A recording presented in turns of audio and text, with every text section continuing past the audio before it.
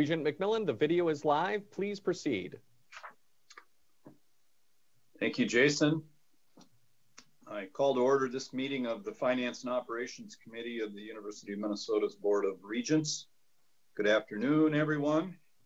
Thank you to those who are joining us via the live stream video today. We are meeting virtually and want to remind everyone that the Minnesota Open Meeting Law provisions allow us to conduct meetings via electronic means in situations like this. A very quick refresher on our protocol for this meeting for the record.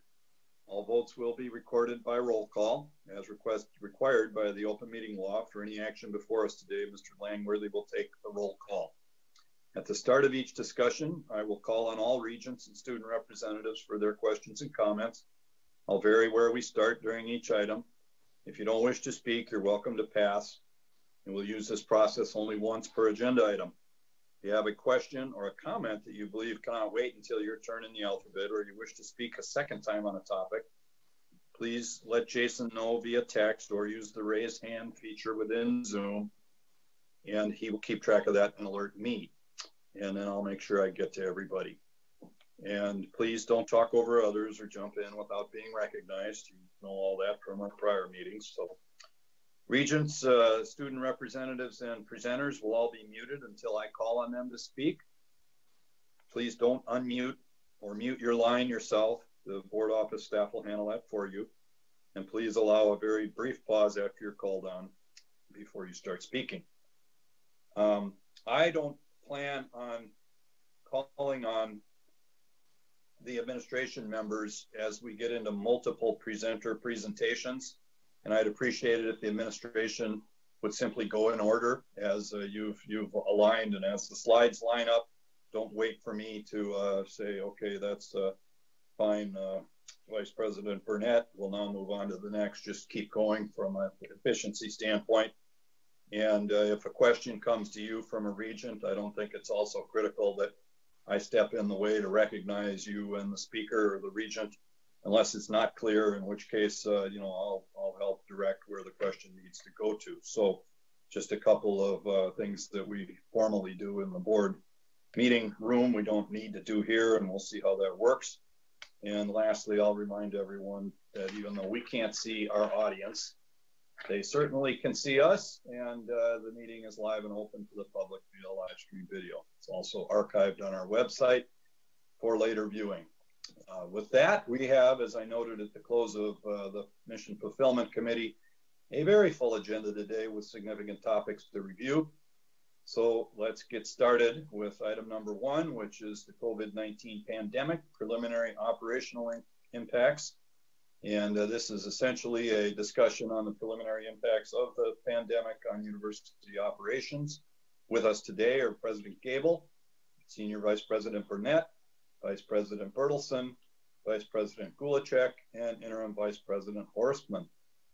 I'll note that we will talk more about the financial impacts of the pandemic on university opera on the university when we take up the operating budget during agenda item two.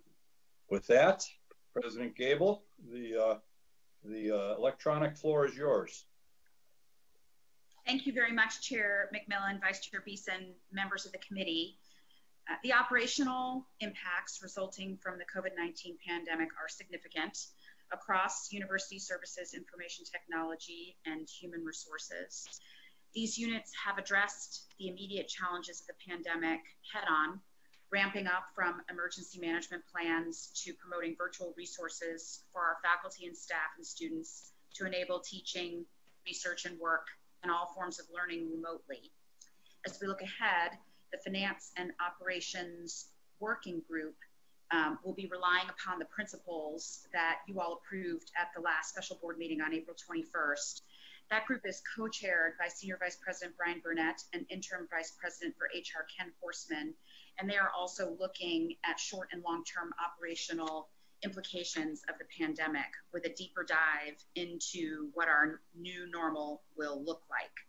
Before I turn the presentation over to the team, I want to sincerely thank them and everyone on their teams for all of the good work they're doing. It's been a real day in, day out effort to ensure that the operations of the university continue smoothly. We have been safe, We have had food for all of our students and who needed it. Our buildings are in good and safe condition. We're paying our employees on time. Our technology is supporting our efforts and so on. Everyone across the system is extremely grateful. And with that, uh, thank you, Mr. Chair. I'll turn it over to Senior Vice President Brian Burnett.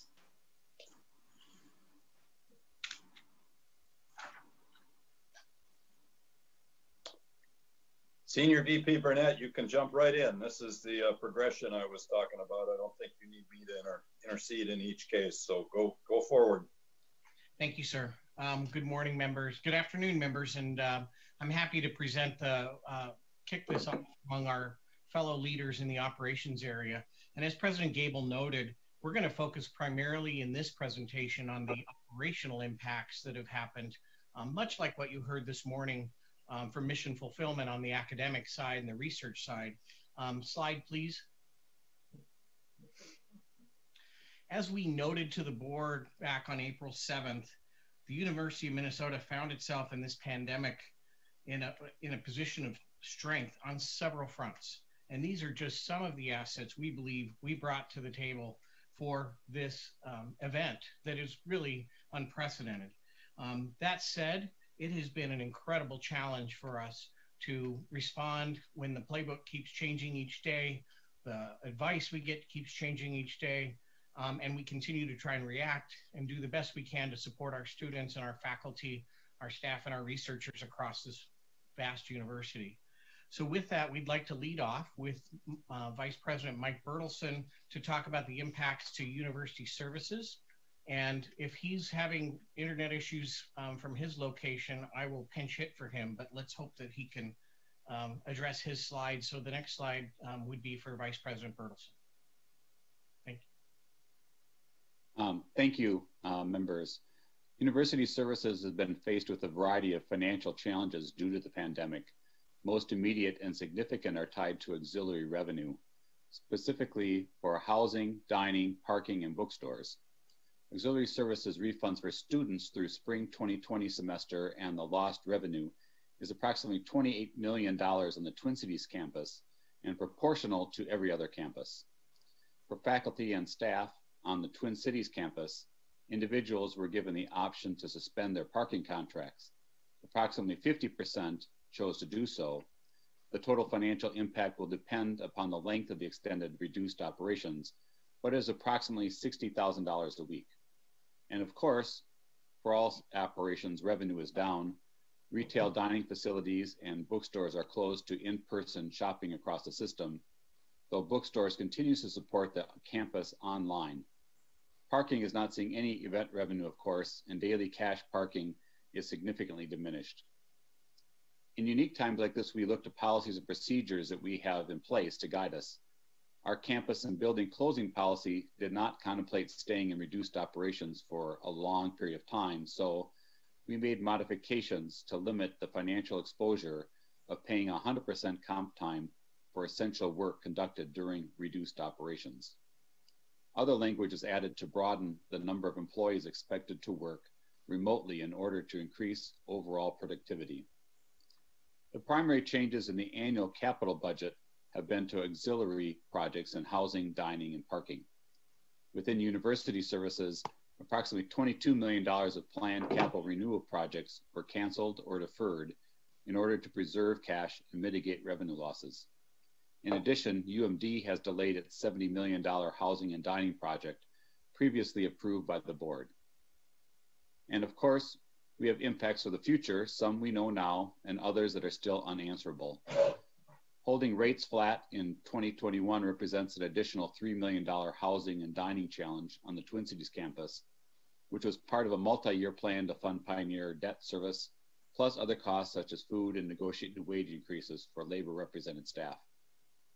Depending on the final university plans for the fall, impacts for housing, dining, and parking would be significant. Debt service for these units continues to be paid, Modeling for the auxiliary units on the Twin Cities campus project that depending upon the plans for the fall, these units will face an additional revenue loss between 24 and 74 million dollars next fiscal year. We're working to more clearly identify cost savings, projects to delay, and other options. And Julie Tonneson will have more context about these financial models in the later presentation. Next slide, please. The first part of managing through an emergency is the preparation and planning that occurs long before the event. As President noted last month, we spend a lot of time preparing for emergencies, developing policies and practices, regularly conducting exercises, updating emergency operation plans, training senior leaders, and more. University Services is home to two areas of the University Planning Emergency Management.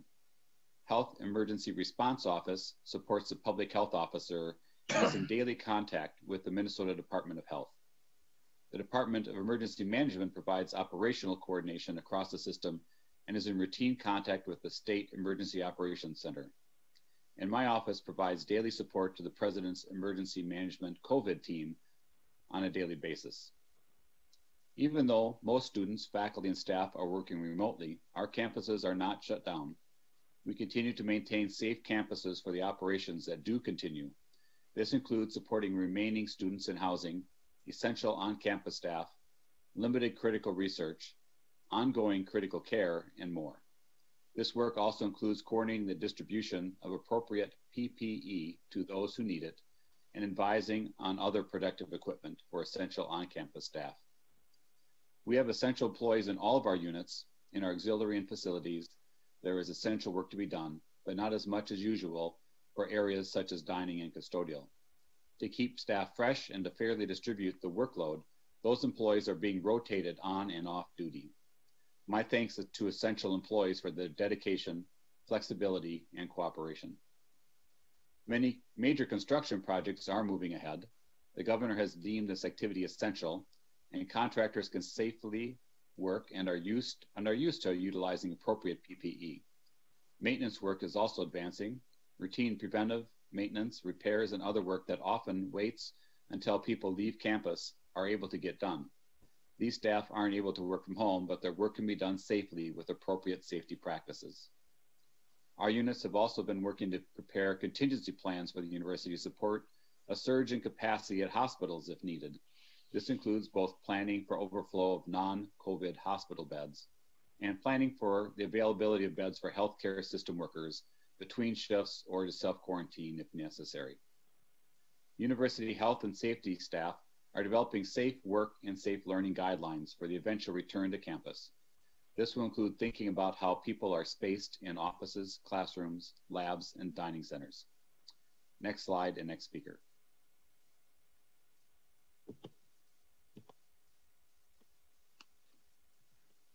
Next slide, please. An initial objective at the onset of the pandemic was to ensure faculty, staff, and student workers who needed to quarantine, were ill, were providing care to a family member, or children due to closures had the support of an emergency paid leave.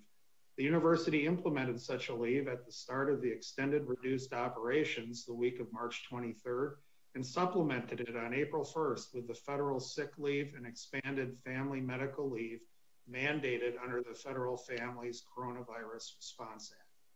To blend these leaves in a compliant and consistent way required significant operational and systems HR work, as the FFCRA does require employers to track the overall use of this new program. Both leave programs can provide up to 80 hours of paid leave for these circumstances in addition to expanded FMLA for childcare, while the employer can be eligible for tax credit. We have developed and, implemented cost containment strategies quickly, including a hiring freeze, a reclassification freeze for employee groups, excluding obligations to groups collectively bargained, and a freeze on lump sum pay increases. As well, the president has announced a merit freeze for employee groups not collectively bargained for this year, subject to board approval. With our finance partners, we were able to implement quickly the deferral of FICA tax payments starting in early April this year. This deferral allows for additional liquidity through calendar 2020 and into 2021.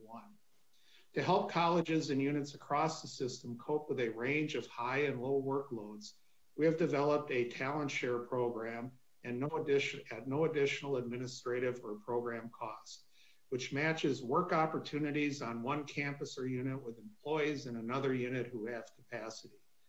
In its first two weeks, we have reviewed 20 possible matches for talent share, including cross campus opportunities.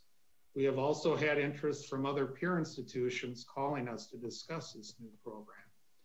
Through this time frame, HR has played a critical role in supporting leaders and employees. It is even more important to continue performance discussions in our review process in a remote work environment and the streamlined performance review approach, which we gradually implemented over the last year, uh, has made great strides and is able to meet leaders and managers as they contend to complete this important process in this new environment. In FY21, 64% of the university staff will be engaging in this process across a common platform.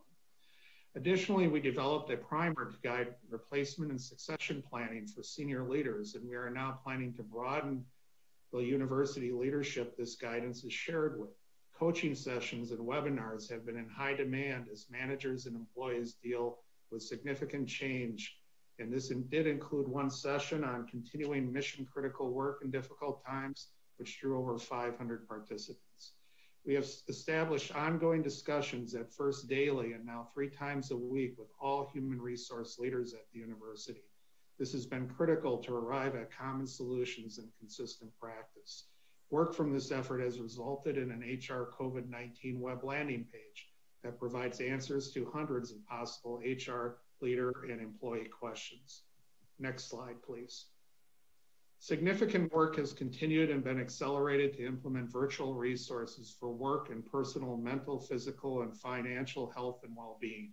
Best practices have been made available for remote work, including a streamlined telecommuting approach and a webinar on remote work itself that attracted over 900 engaged employees on how to work effectively remotely. Uh, as an example of this, OHR Operations partnered with OIT and has been able to establish full OHR call center capability remotely, including phone capability. Adjustments have been made to implement on our health plans to account for COVID 19 and remove any potential barriers to those who require services. Finally, in the midst of the significant financial market volatility in February and March, the Retirement Governance Committee determined that an extension of our retirement plan transition to Fidelity was necessary. With the time that has been available prior to the new date of June 12th, human resource and investment and banking team members have developed a new approach that allows 97% of transferable assets to move in kind and not experience even a day out of market during this volatile time and transition. And with that, I'll turn it over to the next speaker. Chair McMillan and members of the committee. It's always a privilege for me to be here with you. As described in your docket materials, University of Minnesota information technologists have been extremely focused on easing the nearly 90,000 students, faculty, and staff into what can only be described as a radically different teaching, learning, and remote work environment as viewed from a very specific and purely technical perspective, this has gone relatively smoothly.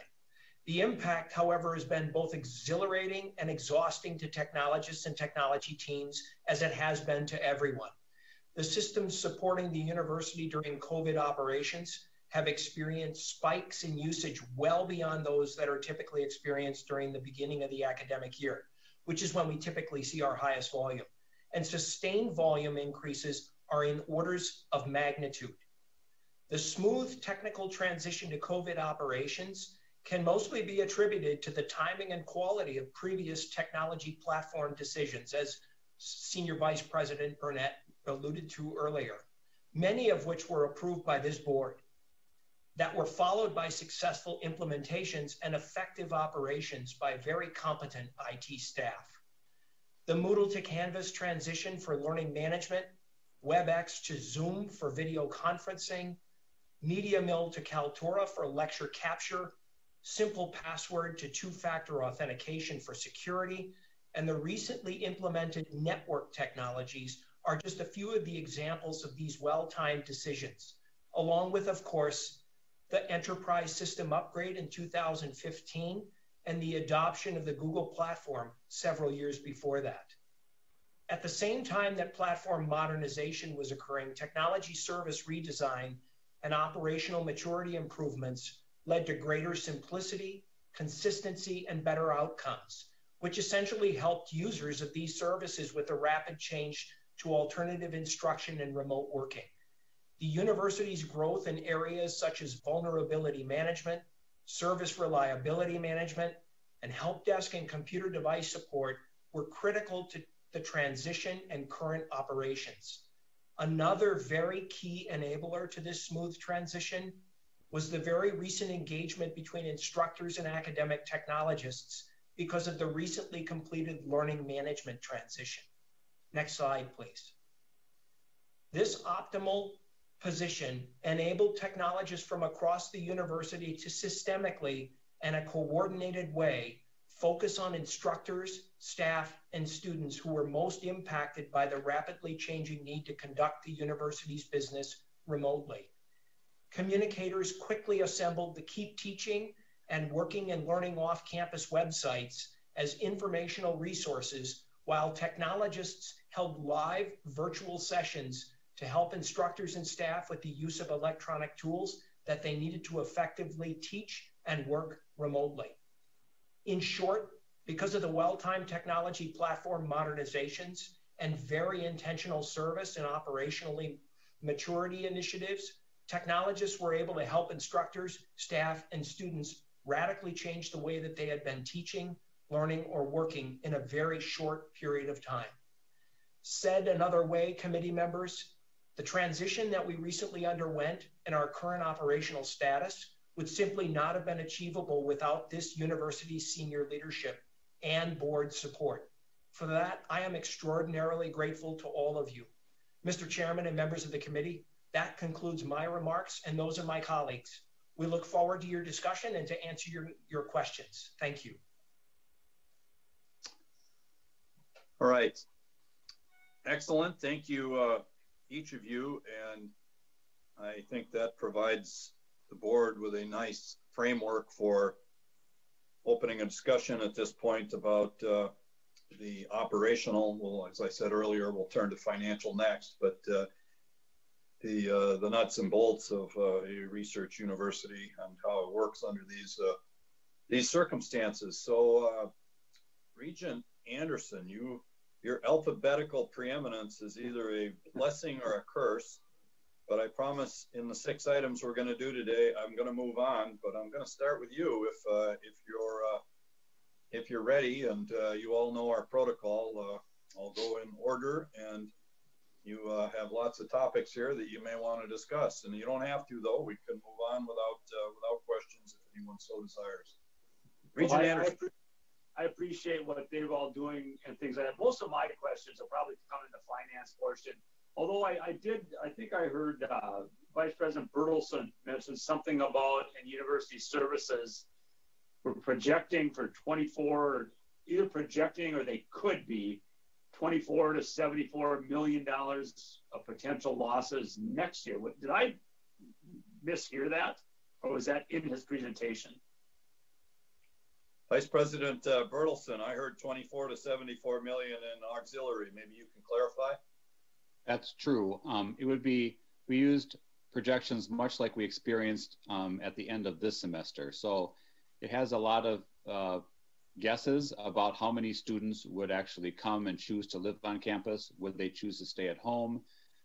If they stay at home, then they're less likely to eat meal plans and less likely to park. And so it's uh, a lot of assumptions about how how many students start in the fall and how many, or uh, does it extend as far as later in the spring, and that will fall into the scenario planning that um, okay. Brian and Julie will talk to you later about. Thank you. Thank you. That's fine. Okay, uh, Regent Beeson. Thank you, Mr. Chair. Thank you, presenters. Uh, Director Horstman, I know the um, the pressure that hiring freezes uh, put on the institution. Uh, I understand there's some anecdotal evidence that that shared services between and among the uh, units is beginning to um, increase. I think that's really a smart way and often a a um, um, a long-term solution uh, you know, in areas of finance, HR, even uh, or IT, um, having somebody work um, uh, in another unit with another unit is very practical and it breaks down those operational silos.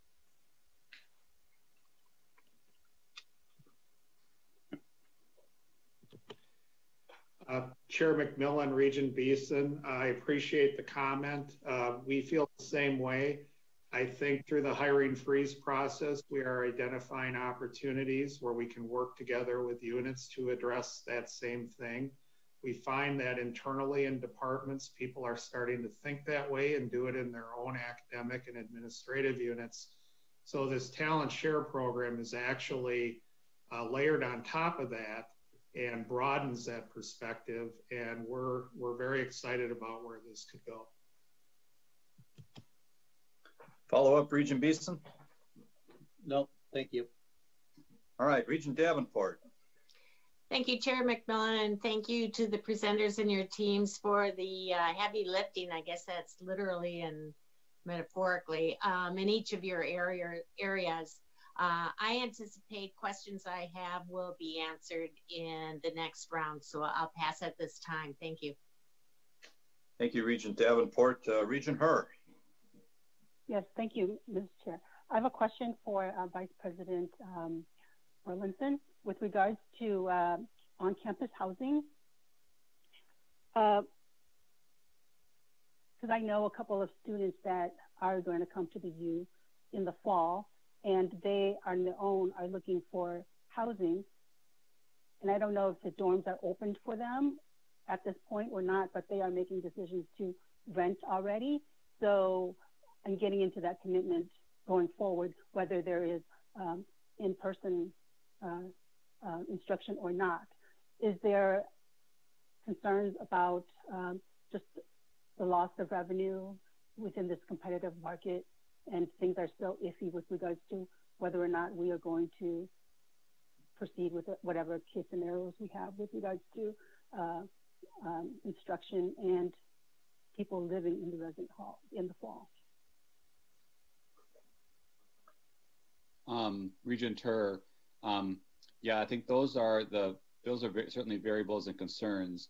If um, you know, if we are only doing online instruction in the fall, um, what does that mean for our students living on campus? So we are working very closely with the Department of Health, uh, getting guidance for them about congregate living and under what circumstances and what conditions that make sense. Um, in the meantime, we are um, operating and taking uh, applications for housing and guaranteed for housing as if we are in normal operations for the fall. So we are taking applications as we speak and guarantees for housing now. Um, and if someone was looking for housing in the summer, they still should contact our housing department. Um, we still do have students living with us through the summer, uh, some doing summer school and others who don't have a place to live. And we are be their best option. Um, we also, through off-campus housing, um, can help them make contacts with if they want to live off campus because those those off-campus apartments are still looking and taking students and applications as well. So I think we're operating as if everything is full go, preparing for that, but also making contingency plans if um, that doesn't work. Thank you. Thank you. Regent Her, follow up? Go ahead. No, uh, no, thank you for the response. It's just uh, I know, and it's, it's hard because students want uh, definitive uh, response from us, but right now it's still kind of open up in the air. So uh, I guess we just have to proceed with the best information as we go forward. Thank you. Thank you, Regent uh, Her. Regent Hsu.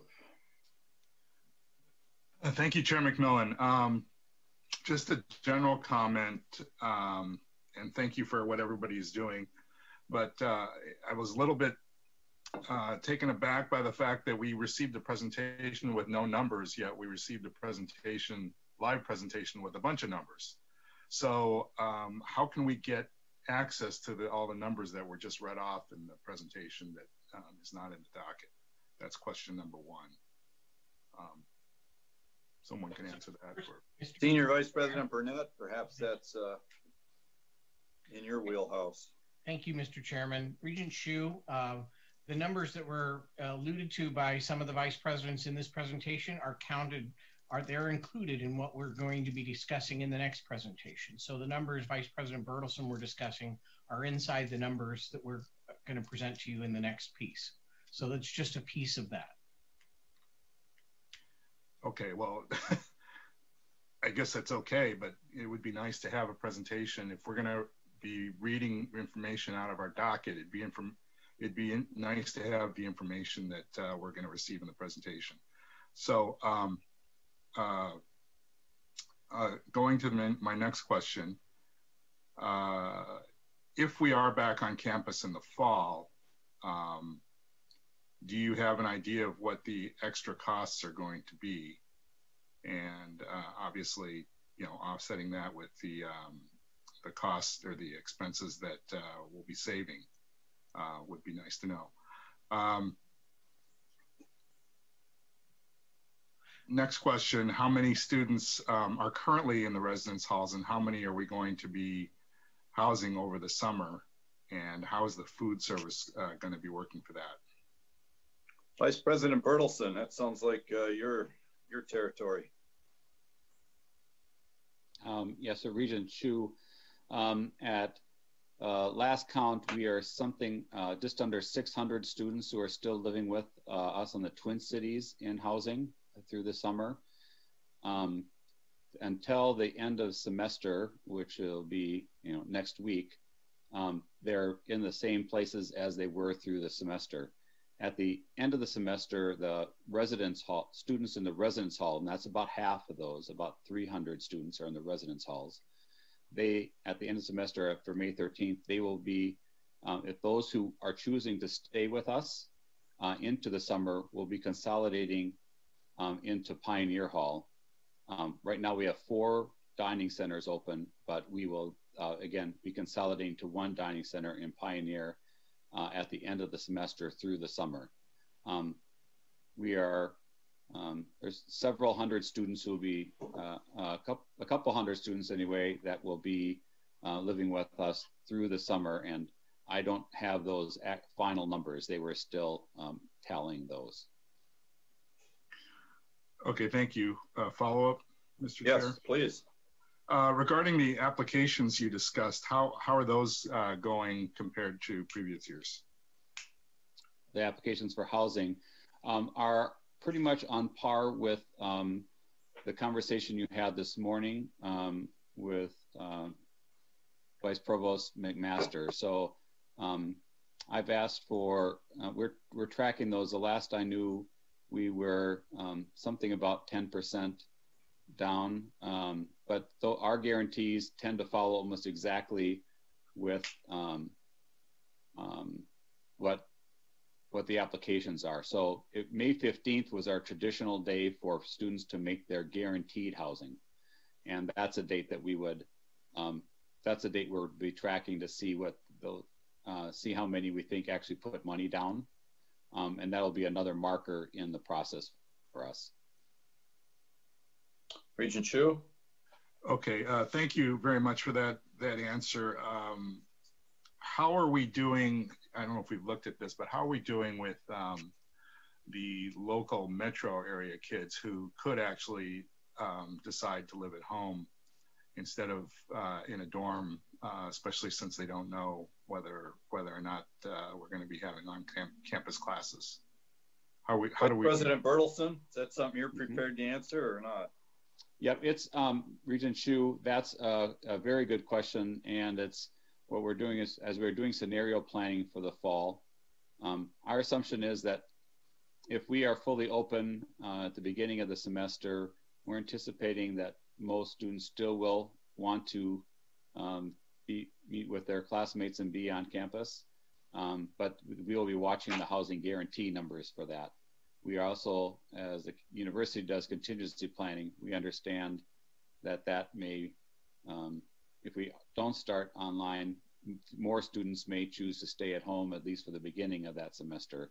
We have not yet begun or tried to piece together what um, some kind of survey response. We're trying to think about what's the best way, what's the best means and the best time to connect to those students and their families about those plans as we know more information. But th those are questions that we are anticipating, um, but I don't have any more information about that yet. Regent Hsu, another follow-up or so? We need to keep moving. Uh, yes, I, I, have a technology question. Um, uh, what, uh, to what extent are we relying on kind of infrastructure outside of the university for you know all of these uh, Zoom calls? You know, for example, you know, I don't think people are doing a lot of Zoom calls, you know, on campus. Well, there are some, but most of the people are not on campus. So are we, how are we dealing with uh, people who don't have internet access where they live or wherever they're staying? Um, and are they somehow able to go in through the university and, and access those resources? Uh, Regent Hsu, members of the committee, I think there are a few answers to those questions that you just described. Um, we are relying on several clouds, cloud-based platforms to be able to provide some of the services, or at least the services that are core to the teaching and learning mission right now. Canvas, obviously, is our course management system, and that is that is hosted in the cloud, as is Zoom. There have been over 300,000 uh, course meetings, course and administrative meetings since March 18th, as of this morning. Um, the the access to Zoom it can be reached via via mobile device and via computer, as you well know, and um, and in addition to the uh, to the computer labs being available as buildings have been accessible to students, um, both internet service providers in the local community and in other places uh, across the United States have been offering either free or discounted internet services during this time. So we have been monitoring that condition very closely, and uh, collegiate units have provided, in some instances, uh, computers to students and have been and worked with students to to acquire internet access if they needed that. I hope that answers your question. Uh, yes, it does. Thank you. All right. Uh, I'm going to move on here to uh, Regent Kenyanya. Uh, thank you, Mr. Chair. Thank you, presenters. Uh, I think my question is for Vice President Berthelsen um, about about what you kind of alluded to this about modifications needing to be made in terms of the distancing and office spacing and whatnot on campus. And I just wanted you to talk a bit more about that. I think we all understand what not returning to the campus in fall looks like, and then or completely returning normally. But there seems to be this in between. What kind of mitigations would have to be made um, just in the terms of way we operate going forward physically? Um, Regent Kenyanya, um, those are good questions, and frankly, we're still working out exactly how to do that. We understand, I think you're right, that there is an in between. There's something between all or nothing. Um, some of that has to do with using safe PPE, so I expect things like masks. Um, it may even do include obviously more uh, Zoom meetings like this. Um, we're building a list of practices, um, and I think there'll be much more to come. I don't, we don't have that uh, plan laid out yet. All right. Thank you. Regent Mayeron. Thank you. I don't have any questions at this time. Okay. Regent Powell.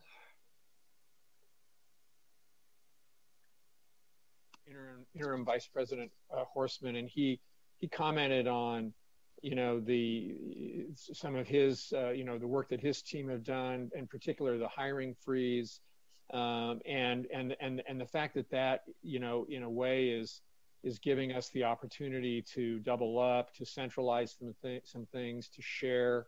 And I'm just wondering if I, would like to ask uh, uh, Assistant uh, Interim Vice President Horstman if he can give us other commentary on, you know, he, as as he's you know coming into this role now, he's relatively new, but uh, but obviously a very highly experienced HR executive. Other opportunities that he sees, you know, either as a result of his prior experience or as a result of opportunities revealed by the crisis, you know, to be to be more efficient. Um, Chair McMillan, uh, Regent Powell, thank you for that question. Um, I think um, any of us who have had more modest crises compared to the pandemic would realize there are opportunities to come out of it in a different way and work differently. And I think we're just at the beginning of that journey. Um, I do think, uh, in regard to my own backyard, um, we have talked with HR leaders around the university about working a different way.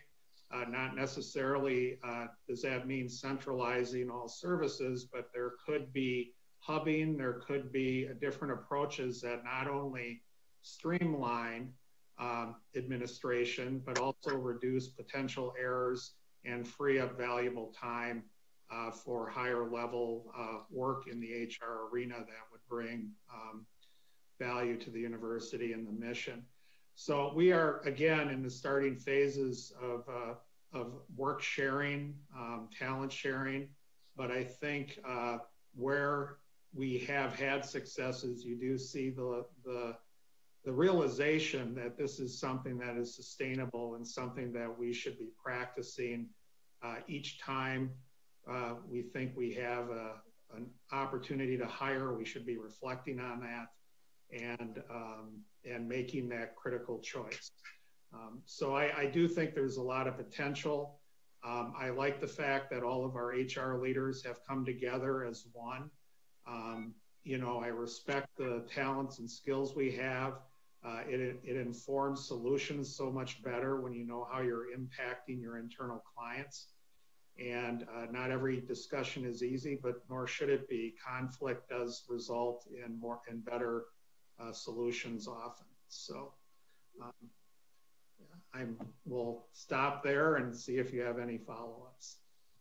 Uh, I, I, don't. I, I, appreciate that you're seeing that there is opportunity here and that you're in, and that you're pursuing those. So thank you. Regent Rosha. Um, pass. Thank you. Okay. Uh, Regent Simonson. Uh, my questions were uh, were presented by Regent Beeson and Regent Powell. I just want to comment that I do look forward to seeing some of the uh, cost savings associated with work sharing or talent going forward. So appreciate it. Thank you.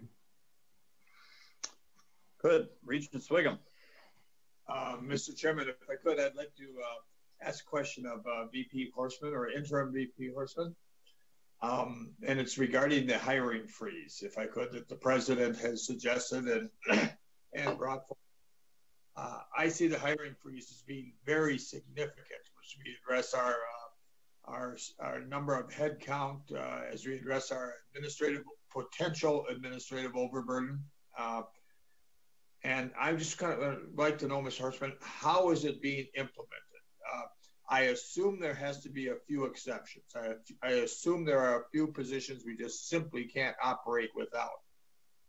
Uh, but overall, uh, how's it being implemented? We have thousands of uh, retirees each year or people leaving, although they're probably not leaving positions right now at this time, uh, that are we're trying to address through attrition through those that are uh, are uh, retiring give me the little feeling of the implementation and uh, you know was it 5% or 10% of the exceptions from openings get hired? Give me a little more background if you would. Um, certainly chair mcmillan uh, regent Sviggum, thank you for the question. Um, a hiring freeze is new for a lot of our leadership and staff um, but the way we have approached it is uh, we took a pause on any hiring in late March into early April and reviewed currently posted openings. You're right, there are exceptions for COVID-related research and clinical needs. Uh, those uh, we certainly uh, do not hold up.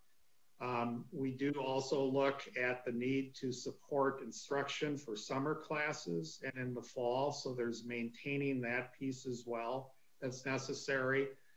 But outside of that, any administrative position, um, any um, new appointment of faculty, anything incremental like that is reviewed not only by my office, but by the provost office. And uh, if we have not determined uh, a decision at that point, we certainly bring in the president's office or uh, Senior Vice President Burnett, Burnett to uh, review it as well. So we're taking a very cautious, slow approach. I know we are because I have a lot of people asking me why there's a traffic jam in my office with exceptions. But I think that means we're approaching it correctly, correctly and thoughtfully. And I know you like statistics, so I don't have a percentage. What I can tell you is in March of uh, 2019, we made 500 hires. Uh, with this in place for one week in March of 2020, uh, we had slightly over 300 hires in March 2020. So if you look year over year, there was a significant reduction already in March in the hires we were making, likely at the end of the month, and we will continue to track that as we move forward. This is an evolving situation, so uh, as our uh, we come out of this, uh, we may adjust the program as well, but we will be tracking it as we go forward. Follow-up question, Mr. McMillan, or Chair McMillan? Certainly, Regent Sviggum. And, and very quick, Mr. Horstman, uh, two years ago, the board by action um, implemented some type of a process where we were going to review those uh, positions that became open and only rehire if uh, necessary. It, proved not to be very successful. In fact, it proved to be very unsuccessful from a standpoint of headcount. Looking ahead with your March 219 over 220, uh, prorating that, uh, suppose we were to keep this hiring freeze in place for a majority of the rest of the year. Uh, would you anticipate that we might have a headcount uh, reduction of, of a thousand or 1500 or 500 or is that an unfair question to ask of you of what your anticipation might be as to the consequence? Well, um, I, I, appreciate the question, and I, I, like to look at forecasting where we might go with things. I think, given this is a muscle we're developing, to be honest, um, uh, I would like to uh, see it in practice a little longer and see what the long term strategy is. Uh, we certainly could build a model once we develop it on how we project this out. I do know that we have approximately, we have a lot more attrition than this, but we have about 600 retirements a year across all the employee groups. So we have some of that information already that we can use to factor into this to put together a more uh, specific workforce plan for the university. I appreciate your answer. I I certainly recognize that models don't always uh, work out, plans don't always work out, Mr. Horstman. Uh, in particular, we've seen lots of models on COVID 19 that haven't seemed to uh, work out to the numbers of what the uh, model anticipated they would. I'm done, Mr. Chairman. Thank you. Thank you. Thank you, Regent Sviggum. Uh, let's turn to our student representatives, uh, beginning with Representative Batten.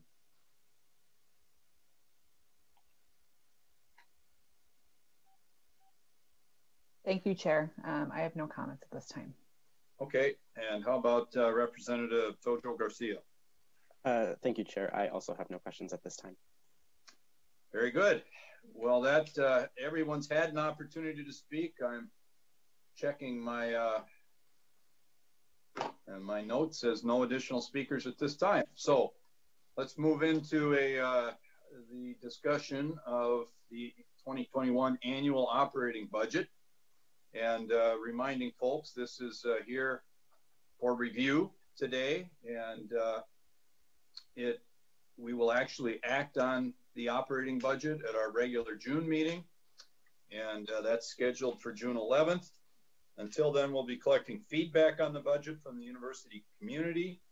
And the way we're doing that this year, as anyone could probably have predicted or guessed, is online and uh, that's part of our bylaws and our the process we normally follow. We won't likely have an in-person meeting this year, so the board's website is the place to submit those comments.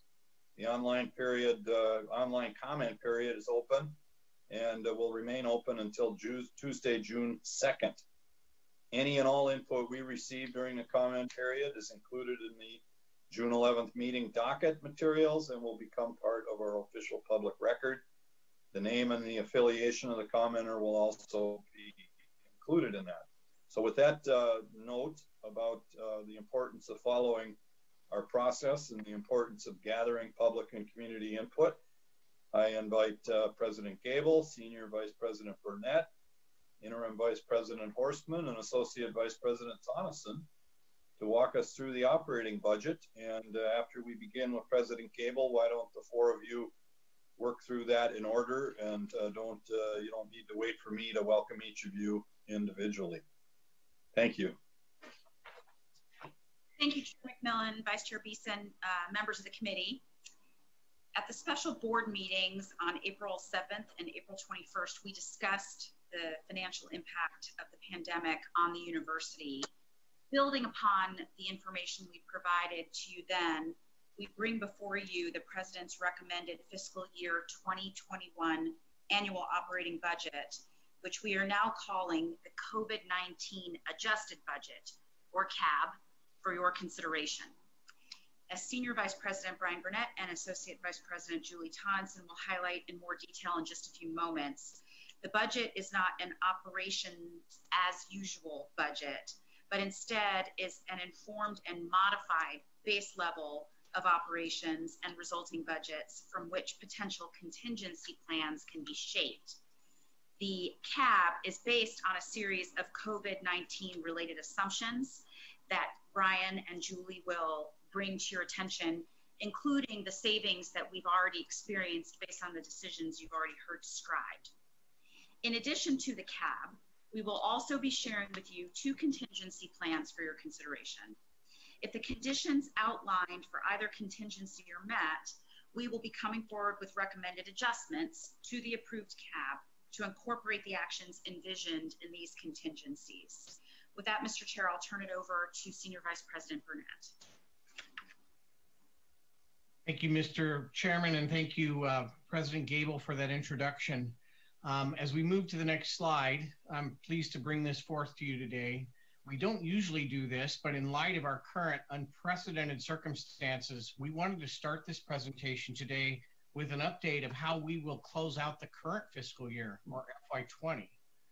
As we described in early April to you, our plan is to conduct in-depth analyses with units across the university during the months of May and June to determine where there are significant COVID-19 related budgetary impacts. We will be looking for revenue losses and expenditure increases compared to budget, ultimately finding and defining those shortfalls. And for these shortfalls, we will deploy the seven-step analysis we explained in April, solutions to filling these holes asking first if all relevant external reimbursements for particular activities have been factored in, then looking for the natural spending reductions due to decreased operations, then looking to unit level reserves planned specifically as a hedge against revenue risk, and then looking to unit level available balances, and finally, to the three institutional tools available to, to address shortfalls. The Federal CARES Act funds, roughly around 18 million, and available central balances and finally, Central Reserves. At the March board meeting in Duluth, you approved a spending authority of 5 million this fiscal year from Central Reserves. At this point, because the unit by unit analysis will not be complete until near the very end of the fiscal year, we are requesting a larger total, 25 million in spending authority to use specifically to fill holes before we get to the FY21 budget on July 1st.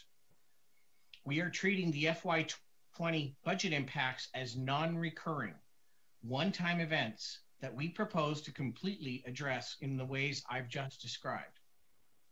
That leaves FY21 as a fresh starting point from which to launch additional plans to tackle the new or continuing challenges.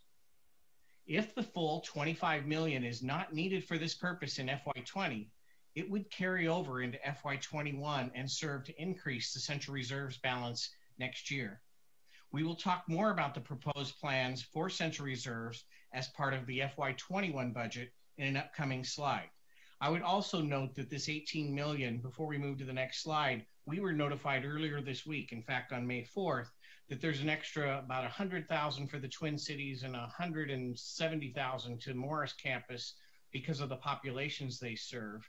um, that came after we had reported to the board and put this docket together. So together we have about 18 million in uh, total additional funds that don't aren't scheduled to go to this uh, at least designated to be um, to assist students under the Federal CARES Act, and we'll talk more about that later. So slides into FY21. So as President Gabel noted, we are bringing you a budget in three parts. A fully detailed COVID-19 adjusted budget or our CAB.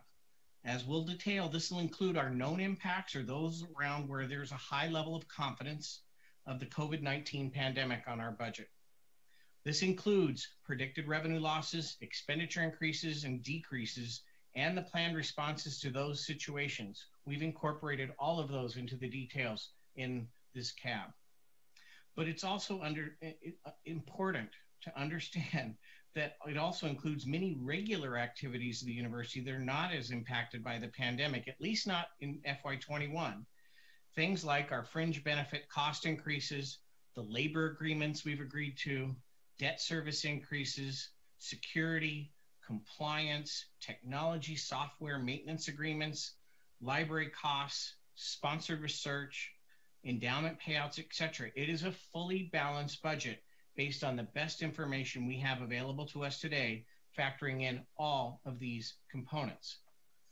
The second part is what we're calling Contingency Plan 1. We are presenting today a framework for estimating and addressing the impact of the possible possibility of reduced operations into the fall. And we will explain in detail what that means.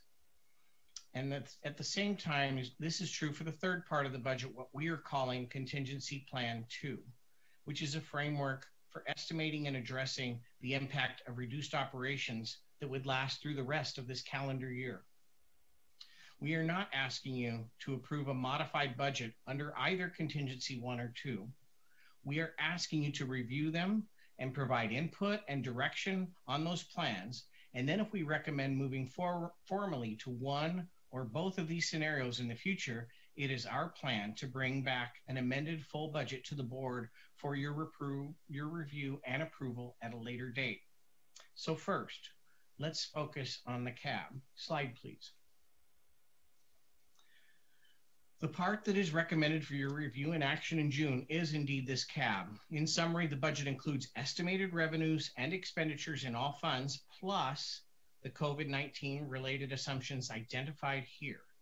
Very simply, it is based on the fact that we will be in reduced operating status at some level into this summer. There's no question about that. And that means our earlier communicated decision to deliver summer session instruction will be only online and all study abroad activity canceled through summer. Since we haven't made yet made the decision about online versus on-campus uh, classes in September, this budget assumes students will largely be back on campus with some exceptions and with physical distancing and adaptations being developed as part of the President's Sunrise Plan. As I've explained in the past, we build our total tuition revenue estimate working directly with each campus and college on the variables impacting them. And in this budget, 12 units are predicting slight decreases in total enrollment, some due to lower transfer numbers, reduced new freshman numbers, reduced retention rates for continuing students, and some have factored in a change in the non-resident resident mix or decrease in graduate students. Some of this was discussed earlier today in the Mission Fulfillment Committee. We also assume in the CAB that housing and dining facilities will be open, but with a reduced occupancy compared to a normal year due to decisions students could be making about living at home and a potential reduction in the number of international students on campus. And finally, this budget assumes that the vast array of events and activities that occur throughout the U will phase back to normal. We will not turn a switch and everything will not be normal. We know that but we will get close to that in some activities through the fall, and that is one of the major assumptions in this budget. So as a result of these assumptions, combined with our estimated cost increases and needs that need to exist outside of the pandemic arena of assumptions, this budget includes the following recommendations in summary. Slide. And for this piece of the uh, presentation, I'd like to turn it over to Associate Vice President Tonneson. Thank you. Slide, please. Jason, good afternoon, uh, everybody.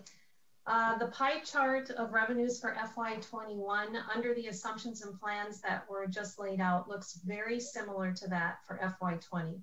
We anticipate a total revenue budget of $3.9 billion with the distribution across the restricted, auxiliary, and unrestricted categories as pictured here. Still, 41% of the budget will come from the O&M state appropriation and tuition combined. That has not changed. The one shift from last year is a move from 10% to 9% for the auxiliaries and the corresponding shift from 20 to 21% for the other restricted categories. It takes a significant change in revenue to shift these percentages from, from one year to the next. Uh, moving to briefly highlight some of the revenues in more detail as part of the CAB uh, slide, please. As you can see in the blue box, the recurring biennial increase in our appropriation is $22,620,000. That's for the biennium. We received the 20,880,000 increment this year, and we are anticipating and planning that the full state appropriation for both FY20 and FY21 will be paid to the university as in law.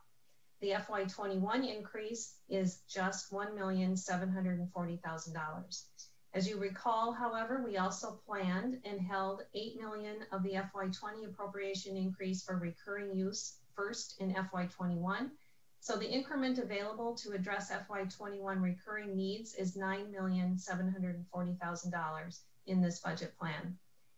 News in recent days hasn't been good concerning the state's revenue forecast and its impact on the budget, but we have received no information regarding a reduction in our appropriation for this year or next year.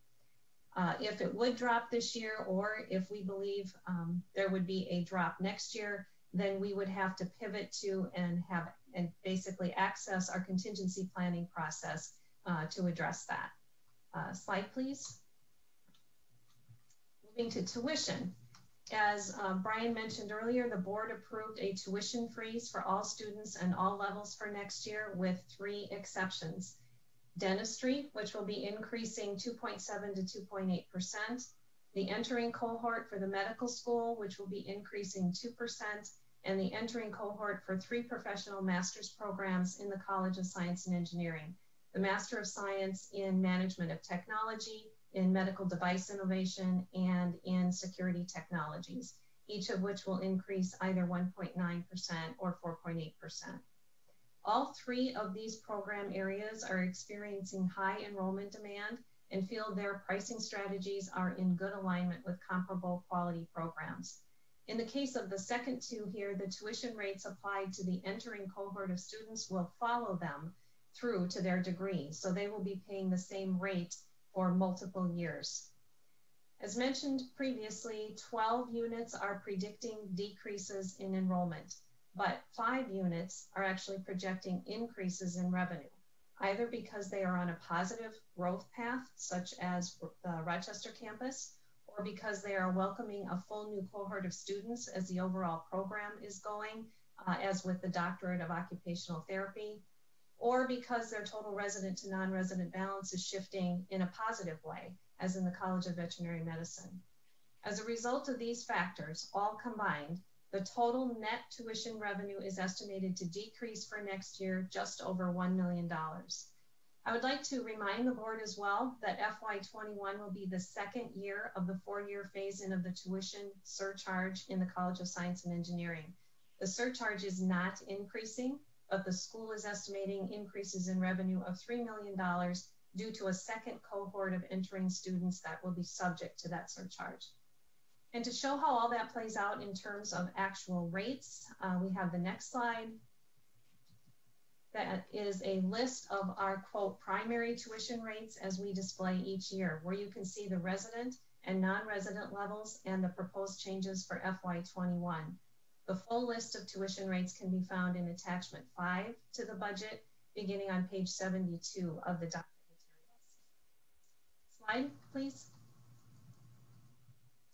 In alignment with the recommendation to hold tuition rates flat, the president is also recommending a freeze on all other student fees that are incorporated into the cost of attendance. This budget includes, includes no rate changes for existing course miscellaneous or academic fees, for the student services fees on each campus, for room and board charges on any campus, or for parking contracts. Examples of the change in tuition fees and room and board FY20 versus FY21 for resident undergraduate students can be found for each campus beginning on page 45 of the docket materials. Again, there's no increase from the current year. The tables are simply presented to provide information on what the example charges would be. For this example student, um, the costs range from $21,050 to $25,385. Slide, please. Aside from the state appropriation and tuition revenues, uh, as mentioned at the start of this presentation, this is an all funds budget, including the wide variety of other revenues generated by the institution. So within the CAB, we have estimated all other earned revenues for FY21, many of which are projected to be negatively impacted by the pandemic. The three major categories of revenues are listed here with example types under each heading. The first category of miscellaneous unrestricted revenue sources are most often tied to events or services and products that people pay for. And with reduced operations into the fall, most of these will see some level of reduction compared to the current year. As indicated here, our estimates include a drop of almost $20 million in this activity compared to a quote normal year. That $20 million drop is, however, combined with some sporadic rebounding from this year or actually even growth over the current year. So the final budget is down a net across all sources about $15 million compared to FY20. Auxiliary operations that you heard about in the previous agenda item were significantly impacted in FY20 and under the CAB assumptions would drop again over $30 million in FY21. However, in this case, the final net revenue is actually up about $10 million from what we are projecting will be the final numbers in FY20 driven mostly by the large refunds to students impacting the FY20 numbers. And finally, in the restricted funds area, we are projecting relative stability. Most of these revenues are less likely to be impacted by reduced operations or reduced enrollment, for example, and yet because of the uncertainty in the economy, we're not projecting any real growth either. Those are pretty stable. Slide. And finally, as we do every year on the resource side, we must take into account some of the planned uses of revenue growth to address the framework cost increases. So some of those miscellaneous revenues that are, are positive and growing are, just as in every year, available to help us with cost increases that occur in the state and tuition funds, in the framework funds. So indirect cost recovery in some units is projected to remain strong and even grow from the current year and there is a small amount of FY20 tuition revenue over budget in some units that remains uncommitted and can be applied to costs in FY21.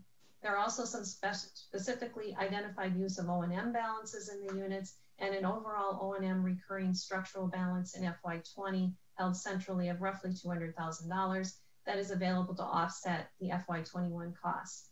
Those resources are built into balancing this budget for the framework funds, the state appropriation and tuition. And based on what units have proposed and planned for to address all the assumptions in this budget, there will be approximately $20 million of internal budget cutting and reallocation to balance this CAB. Roughly 43% of that 20 million has been identified by the units as reductions to administrative costs and 44% has been identified as reduction to mission related costs. That leaves roughly 13% as yet unidentified, which is not unusual as some units have been asked to make reductions beyond what they originally planned. So the plans for that last 2.6 million are still being developed. Of the identified cut plans, 69% involve reductions to compensation, which is elimination of positions, salary savings from turnover, et cetera, and 31% are related to reductions in general supplies, equipment, miscellaneous expenses. Uh, none of these planned reductions involve, quote, natural savings from reduced activities or savings from the hiring freeze. This $20 million is all over and above those kinds of responses. Examples of decisions within that 20 million planned reduction are included on page 40, pages 48 and 49 of your docket materials. Turning now to the spending plans in the COVID-19 adjusted budget. One more, please. Uh, total expenditures are estimated to be slightly higher than revenues, totaling $4 billion. The display of that 4 billion by function is shown in the table on the left of this slide. That distribution does not change appreciably from year to year. As with revenues, estimated impacts of the pandemic are built into the projected expenditures.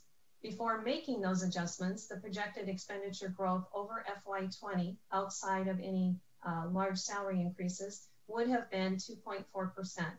However, we have estimated a reduction in spending, not just reallocation, but actual reductions in spending of approximately $50 million associated with the impact of the pandemic, from reduced activity levels into the fall in many areas, even where revenue isn't dropping, uh, from the hiring freeze, which impacts salary and fringe, and the announced pay reductions at the cabinet level, and so forth.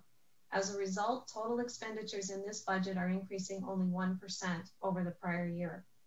Uh, for more information on the com compensation component of the budget, I'll turn it over to Interim Vice President Horstman for the next slide. Thank you, um, Associate Vice President Tonneson. In most years, compensation increases account for the largest increase in spending in the budget. And for FY21, we have two items that add cost. Implementation of the collective bargaining agreements approved earlier this year, and the fringe cost increase resulting uh, from the required federal methodology of setting fringe rates to pay for costs from two years prior. Because there was an actual increase in fringe benefit costs between FY18 and FY19, driven primarily by healthcare, departments will see that expense increase hit their budgets in FY21. The incremental cost increase for these two items combined is 25 million. Roughly 12.5 million in both the state and tuition funds and in all other funds combined. However, to help lower those costs, the president is recommending a hiring freeze as we move into FY21, which will lead to more open positions and salary savings. In addition, a merit freeze uh, pay will avoid cost increases on the current salary base over the next year. The net increase in compensation costs in this proposed budget overall is approximately $10 million.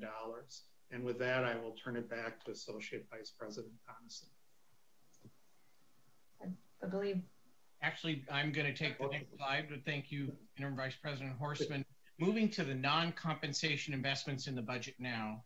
As I mentioned near the beginning of the presentation, this CAB includes estimates and actions that are a part of our normal operations before adjusting for the pandemic impacts we have been discussing. And this aspect shows up the list of investments included as attachment two to the budget, pages 68 and 69 of your docket. The president is recommending recurring investments of $26 million. This represents the dedicated resources from the O&M appropriation increase, from tuition growth in some units, and from internal reallocations to a variety of needs throughout the institution. 15.7 million of the 26 million is recommended to address basic operating needs in our units. Most of that will provide general support as small discretionary pools or to offset current year tuition shortfalls from what was budgeted. A small amount is dedicated to help address structural budget imbalances for the units you see listed here. And an additional amount is targeted for specific identified needs within units. Examples would include inflation on library materials, the cost driven by enrollment growth at our Rochester campus, and continuing plans to support the law school. Slide, please. I won't take the time to walk through all of the investments, but beyond general operating support, attachment two also itemizes recurring investments related to technology and facilities, student support and services, and programmatic support and compliance costs. In addition, we have itemized non-recurring investments here and slide please. So this budget includes proposed allocations of 6 million to various one-time needs that were brought forward as part of our regular annual budget process. Examples are here in the top box. They represent either budgetary needs, um, as with the year-end support anticipated for our system campuses, or one-time strategic investments for the long-term health of the institution, as with the Twin Cities Master Plan or reserve for potential police officer additions um, on the Twin Cities campus. And for the rest of the slide, I'm going to turn it back to Associate Vice President Tonneson. Thank you. In addition, on the non-recurring side, this budget includes two items directly in response to the pandemic. The first is a plan to offer additional recruitment awards system-wide to help land the freshman class this fall amidst the different competition uh, they're facing compared to prior years. And the second is authorization to spend an additional $10 million as needed to address one-time bridging needs for units based on their revenue and cost projections for the year. This additional 10 million from central reserves would not go to every unit, but would be targeted to those that lack the balances and reserves to address what we determine to be uh, shorter term challenges, similar to what we proposed for the FY20 allocation. Beginning on page 60 of your docket materials, there is a summary of the projected impacts to central reserves as part of this budget. Uh, specifically for central reserves, it includes an estimated lower average balance in TIP uh, lower yield assumptions than in recent past quarters. Uh, so the actual earnings for the year will be less than they have been in the last several years. It includes a planned allocation of 25 million in FY20, uh, as Senior Vice President Burnett mentioned at the beginning of this presentation to address COVID-19 driven budget shortfalls, a planned allocation of $10 million in FY21 to address COVID-19 driven budget shortfalls, and that all results in an estimated ending balance at the end of FY21 of $14 million, which will be 13.8 million less than the board policy guideline sets as the goal for the fund. Uh, since 2009, after some cash flow timing adjustments, there's been only one year, and that was last year, FY19, in which central reserves ended with a balance exceeding the policy guideline. One purpose of the reserve is to address financial challenges due to unforeseen shocks in the environment, to be kind of a rainy day fund, if you will. So that very rational and thoughtful intent for the fund, combined with some exceptional earnings in the most recent past, has resulted in this tool to, available to us to help navigate through this current shock. Through this budget, we recommend using this tool, but not completely depleting the fund. Slide, please. Uh, final slide on the CAB is a summary of the proposed framework for balancing the state and tuition fund portion of the budget as we show every year. It reflects the changes for FY21 as outlined in the preceding slides. Incremental resources over FY20 of 39.2 million and incremental spending of 38.6 million, leaving a $600,000 recurring balance. Again, that is in the state appropriation and tuition fund portion of the budget only. I don't have a similar framework for the rest of the funds displayed in this presentation, but on an all funds basis, with the cost increases and investments identified here on this slide, plus the total estimated for all of the other funds, including the impacts of the pandemic, incremental revenues in this budget plus the total carry forward into the year will be up 39.2 million over FY20. Incremental spending will be up 48.4 million over FY20 so the overall university all funds balance is projected to drop 9.2 million below the ending balance for FY20. The non-sponsored fund portion of these, these changes is reflected in the university fiscal page, attachment one to the budget document on page 67 of the docket materials. And that, Mr. Chair, is a summary of the COVID-19 adjusted budget that we recommend uh, for your review and approval. Moving on, we'd like to summarize uh, the second and third parts of this budget recommendation, namely contingency plan one and contingency plan two. Why don't you proceed? The assumptions we... of each are summarized here on this slide. Contingency plan one assumes that normal operations and instruction do not return to our campuses by September, but instead return more in the October-November timeframe for most students and employees. The semester would start with online instruction and transition to in-person instruction by about that time. It also includes a roughly 5% reduction in total enrollment as a result, an assumption that housing and dining facilities are not open for most students until mid-fall semester, and that our many revenue generating events and activities phase in more slowly than under the CAB. The financial challenge, challenge associated with this plan is estimated to be an additional 124.5 million over and above what was incorporated and solved for in the CAB we just described. Contingency Plan 2 pushes those assumptions out until spring, so employees and students would not be back on campus until spring semester. Total enrollment under this um, contingency plan is estimated to be down 10.5%, and housing and dining facilities are closed until spring, and the revenue generating events don't return until spring. The resulting financial challenge from these assumptions is estimated to be an additional 146.5 million over and above contingency plan one. So solving for both contingency one and contingency two would require decisions to address 271 million.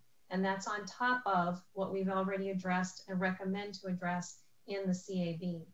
The assumptions, especially related to enrollment, are spelled out in more detail in your, in your docket materials on pages 64 and 65.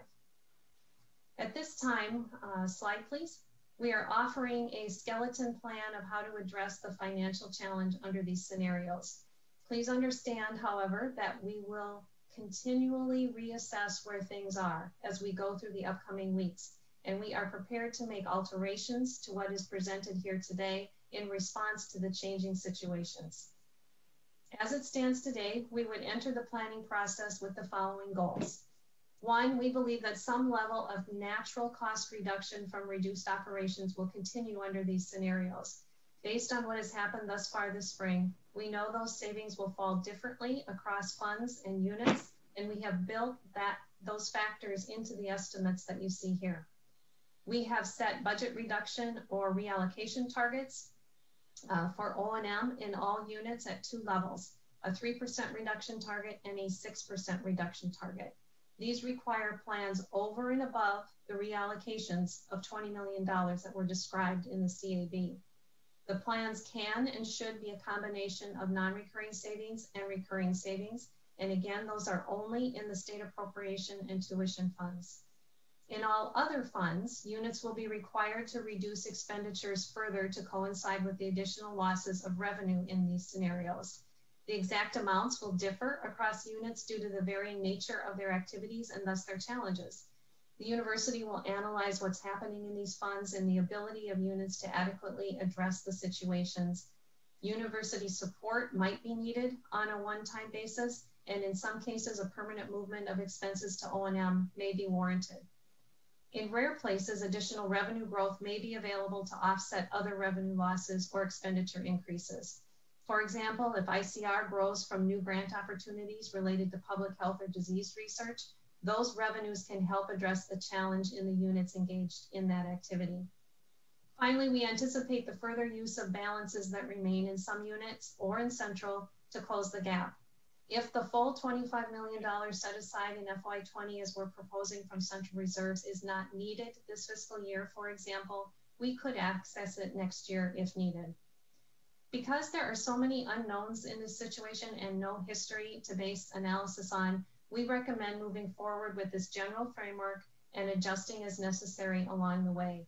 We also recommend that if it appears things are returning slower than these plans anticipate, and that we cannot return to any kind of normal operations for next spring, we will need to pivot once more and adjust our estimated financial challenge.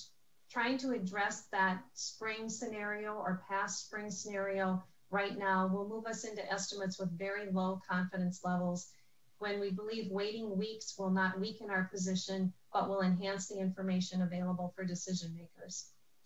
In addition to these factors, it's important to remember that the president has charged two work groups to plan for ways to address future challenges. And I'll turn it over to Vice President Horstman and Senior Vice President Burnett to provide information on the Finance and Operations Planning Work Group and what they are working on. Thank you, Associate Vice President Tonneson. Um, as part of the process of developing contingency plans, the president charged the Finance and Operations Planning Work Group to develop recommendations that enable the university to retain its workforce by leveraging existing and new tools and policies, leveraging economies of scale, finding new cost saving measures across the system, and finding opportunities to outsource or insource to achieve greater revenue or institutional savings. That group is in the process right now of gathering ideas and discussing options that will save the institution money in a variety of ways.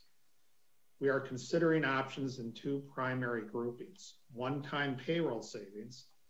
This could include furloughs implemented broadly across the institution, plus temporary pay cuts for some employees. The range of savings here can be vast, depending on the number of furlough days and the percentage of pay reduction chosen. This could be as low as $8 million, or it could exceed $100 million, depending on what is needed when the analysis is complete, combined with what is strategic and aligns with our guiding principles of making decisions for the best interests of our faculty and staff in mind.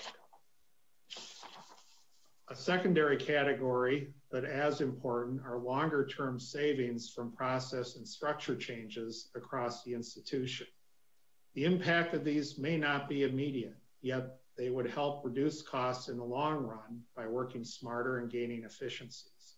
In this bucket are ideas such as shared services, paperless operations, permanent reductions to some categories of spending, outsourcing or insourcing, and, and beyond that. Recommendations from the group will take shape over the next several weeks, and some of those will involve a call for more in-depth analysis and additional sub-teams over the next six months. And with that, I will turn it over to Senior Vice President Burnett. Thank you, Vice President Horstman. To summarize this slide for the board to understand the work that's already underway and continues, uh, really two parts this part that that, uh, that Ken talked about, this temporary payroll savings and, and, the things we're looking at, how do we solve those contingency one or contingency two numbers yet in fiscal year 21? So immediate things that can help balance the budget. These efficiencies through process and structure changes are things that are going to be longer term implementation and are, would, would affect future budgets and wouldn't be things that would uh, help us balance FY21 if we need to pivot. So it's really two parts. It's really what do we solve to get um, savings needed in the current year, the current upcoming year, fiscal year 21, with these uh, savings that we're working on, but a whole other set of groups that would be working at this summer and into the fall, looking at things that could be deployed to look at savings on a more systemic or structural level for future years. Slide. And how this comes together with this institutional challenge that is not um, inconsequential. Uh, if you could keep clicking through. So the president's work group recommendations from what the work group that Ken and I co-chair are tying together with the president's work group recommendations on academic research, which is uh, chaired by, co-chaired by Provost Croson and Vice President Cramer, working in work group savings across this whole institution. Um, and each unit has different work that they're doing to bring these savings together. And how do we pull this together across all the units? Meaning we have 50 resource responsibility centers across this entire university of minnesota. And how do we pull this together to bring a comprehensive institutional solution? As you may recall president Gabel gave us a june 1 deadline for our reports. And it would be our intent to bring this work to the board in June as part of the final approval of the FY21 budget, understanding these other efforts that are underway to not just mitigate challenges we may face yet this year, but also help the fiscal sustainability of this institution in years ahead. Um, so with that, the next slide, please. This is the resolution we will be asking you to consider and voting on in June, not today. And as in years past, the cab will include all of these things in the whereases and all of the attachments are generally included in uh, to the resolution that are in your docket to uh, lay out the tuition rates, the course fees, the academic fees, student services fees, and the fund forecasts around central distributed and attributed funds. And with Mr. Chairman um, and members of the committee, we're happy to take your thoughts, your questions, your input. If you could move to the next slide. Thank you. All right. A couple of uh, opening thoughts from me. And one, I think you've created a, a framework for governance assessment, consideration, and ultimately action that is that is really quite quite good for this situation in which none of us in a, any governance settings probably ever found ourselves. So the tiered approach, while there's probably some on the board who'd like more, some who maybe there's too much detail here, I think the CAB, the base, the the, the uh, consolidated or the COVID adjusted budget is really full of detail, and then it pairs back, I think appropriately so for contingencies one and two. And I know as you go forward and we get into June, when a lot of key variables begin to show up, that if you know the COVID adjusted budget is clearly not going to be the go forward strategy, then you'll be refining one and two and perhaps creating another. But I think at this point in time, this gives this board an excellent range of uh, planning tools and consideration framework for us to uh, evolve into June. So that's a general thank you for a lot of work, and I can't even begin to imagine just how much work is is is reflected in what you just walked through. A second and more narrow call out here goes to a couple people who I don't think are on the phone. I'm sure one of them isn't. But there's a couple elements of this budget that are easy to overlook, or this solution, I should say, and one of them is the driver of our central reserves, which is really the temporary investment pool, which is expertly managed by Stuart Mason and his team. And without the returns that they generated in 2019, um, there's no way you enter this year with a uh, with a central reserve of the size that we have, and that having that kind of powder in the is really really good. So thank you to that team. And uh, Brian, I know they roll up under you, but uh, I don't think we often stop and recognize the work they do.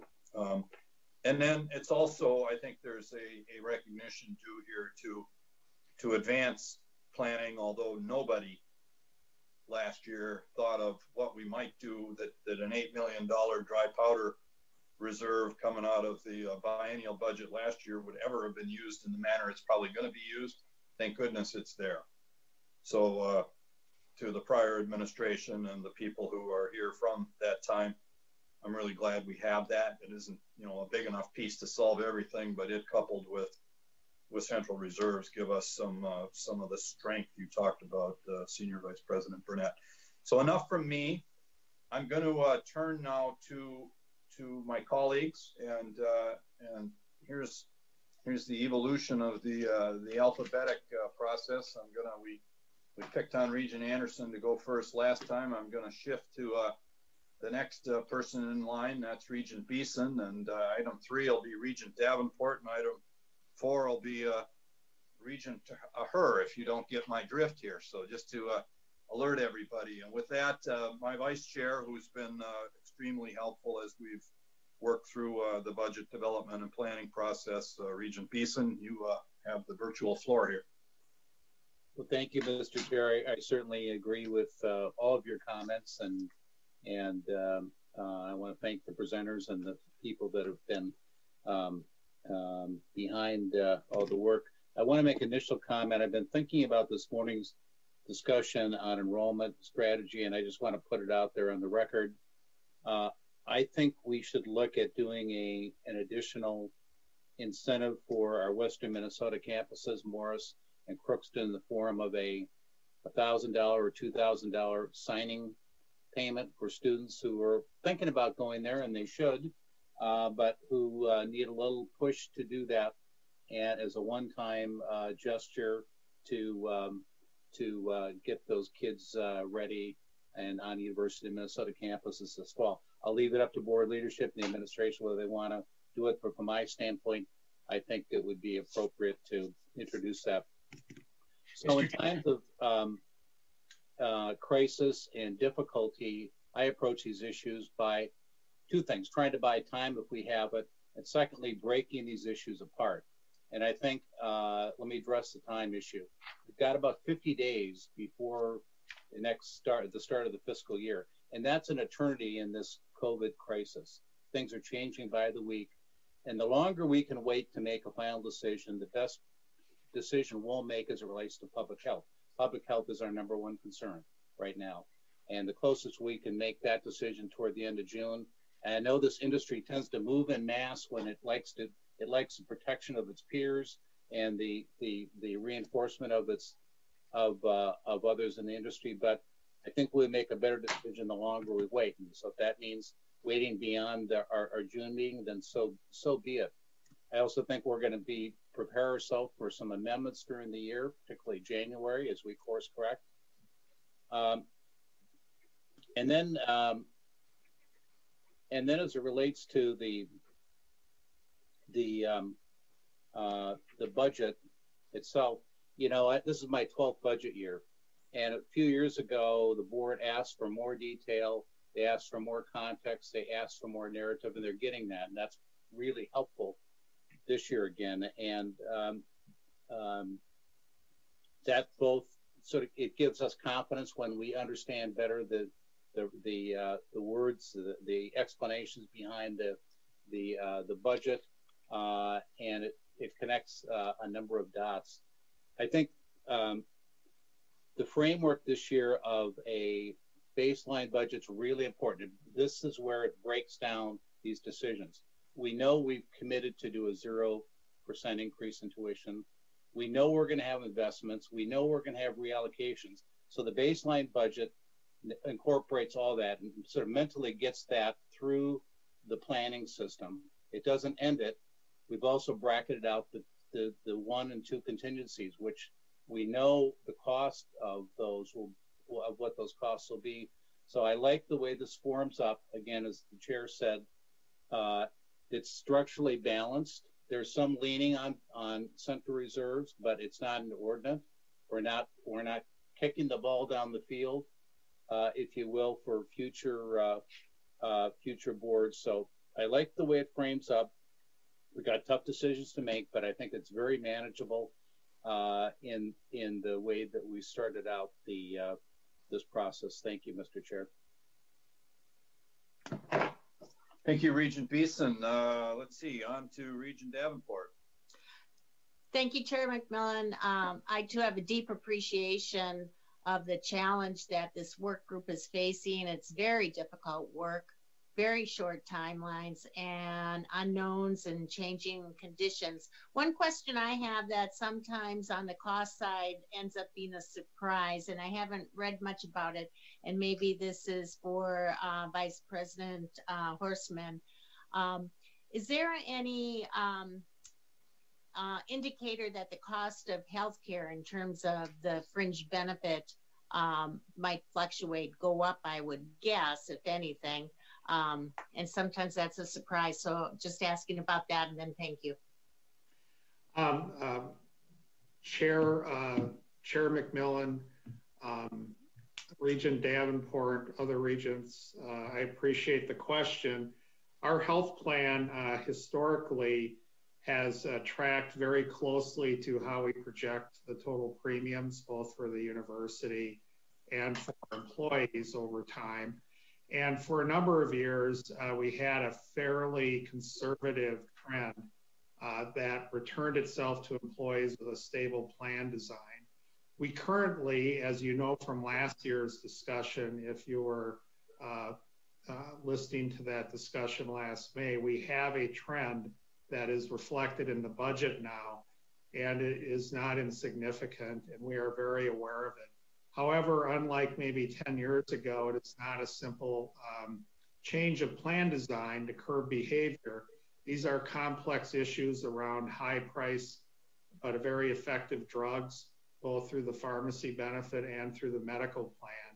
The university was one of the first employers in Minnesota to demand from its health plan that we know by name the drugs that are coming through our medical formulary, and we now know that and can track it. We also have a significant level the last two years of high cost um, but critically needed care for uh, very ill um, members, and that's less than 1% of our population. And each year that population shifts and transitions. So we're aware of it. We know the time has come to look at plan design, but we also know the problem is, is much bigger than that in the world of healthcare. What we feel fortunate with is we have advisors to our plan like Professor Stephen Schondelmeyer out of pharmacy, and we're asking for additional help as we figure this out from our other academic leaders so we can look at a clean canvas and look at everything from network to plan design to how we access treatment for our employees. Thank you. Anything further, Regent Davenport? No, thank you. All right. Yes, thank you, Mr. Chair. Um, just to um, Senior Vice President Burnett and your team, thank you so much for your work and effort in putting all of this together. I mean, so it was a lot of work, so I, I, I deeply appreciate it. And uh, it comes across, um, I don't know if you are very confident with it, but it comes across very confident, confidently. Um, I have uh, just going to share with you just my thinking process, uh, not not really questions, uh, uh, just yeah, just thinking process. I'm just wondering, um, one, my assumption is that we are right currently right now at a still at a 100% employment rate. I think I don't think we've uh, laid off or furloughed any any staff. Um, and then just looking at the contingency plans going forward, uh, with enrollment not being 100%, when would it be that uh, that that that uh, um, staffing would follow? And then two is, um, having said that, I am concerned as last year um, with the reallocation because it seems like in contingency one and two, um, the bulk of how to balance the budget, our confidence in how we're going to balance the budget is really in reallocation and, and at, at which uh, units will that happen and, and how will that happen and, and who will take the, uh, the, the, the, the, the um, undue burden, I suppose. So these are things that I'm thinking about as I'm looking at, at the budget and and yeah, we have a lot, a lot of uh, tough decisions to make, but I, I, feel, you know, with the with the expertise and definitely guidance of, of the staff, um, we're, we're, we're going to head on, on, on the right track. So thank you.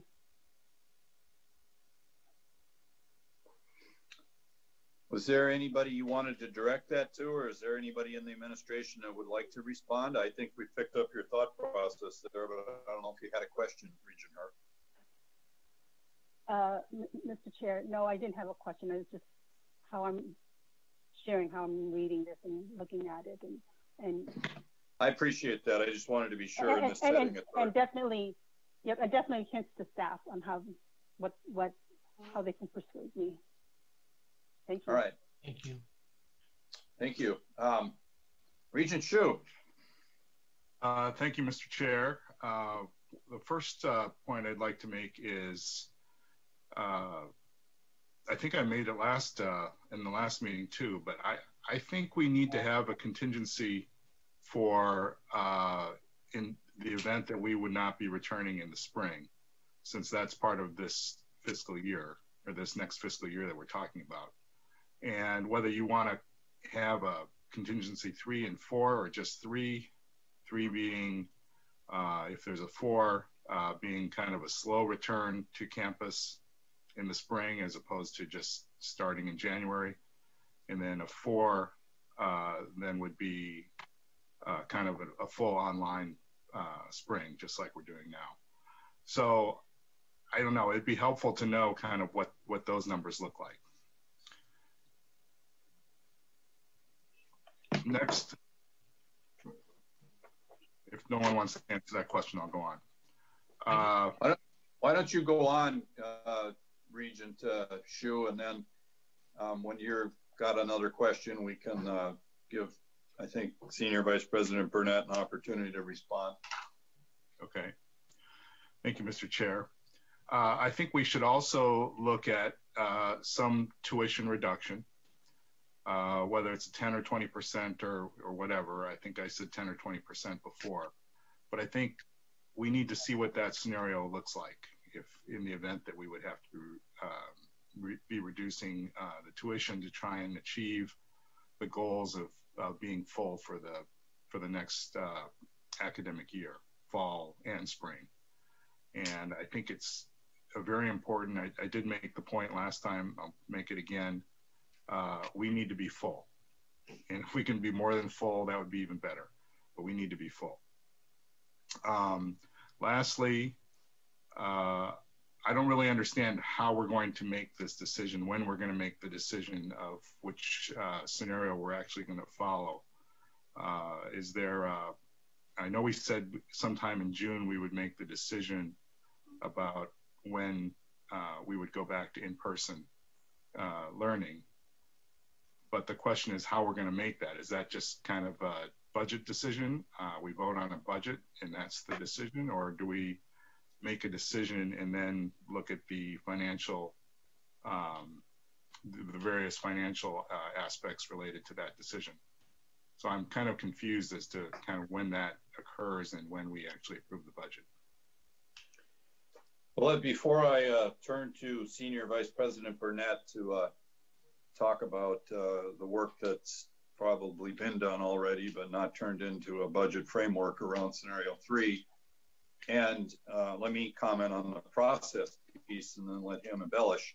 So we have our next board meeting, I believe, June 11th, our next scheduled meeting. If uh, any inputs into the budget uh, or any of the key inputs into the planning process, operational, uh, public health, you know, whatever, all the different pieces that are moving were to come to pass in between now and then. I mean, our leadership's already shown a willingness to have a special meeting. I think if something really major came down, they'd do that again, or we would see a, uh, you know, a shift into scenario one um, before the June meeting with ample communication to us.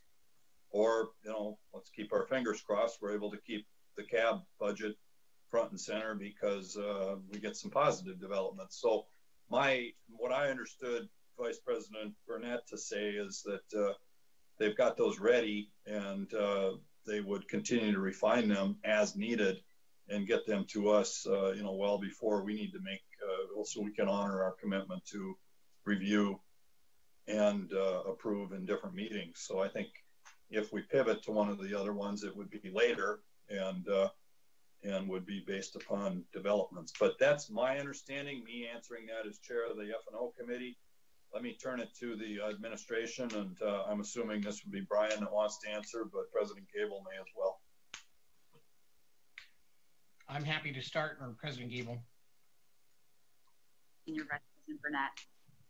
Got it. Well, um, to those questions, Regent Hsu, um, as, as Associate Vice President Tonneson said in our presentation, we believe we can pivot if needed in, into this fall and build a contingency three.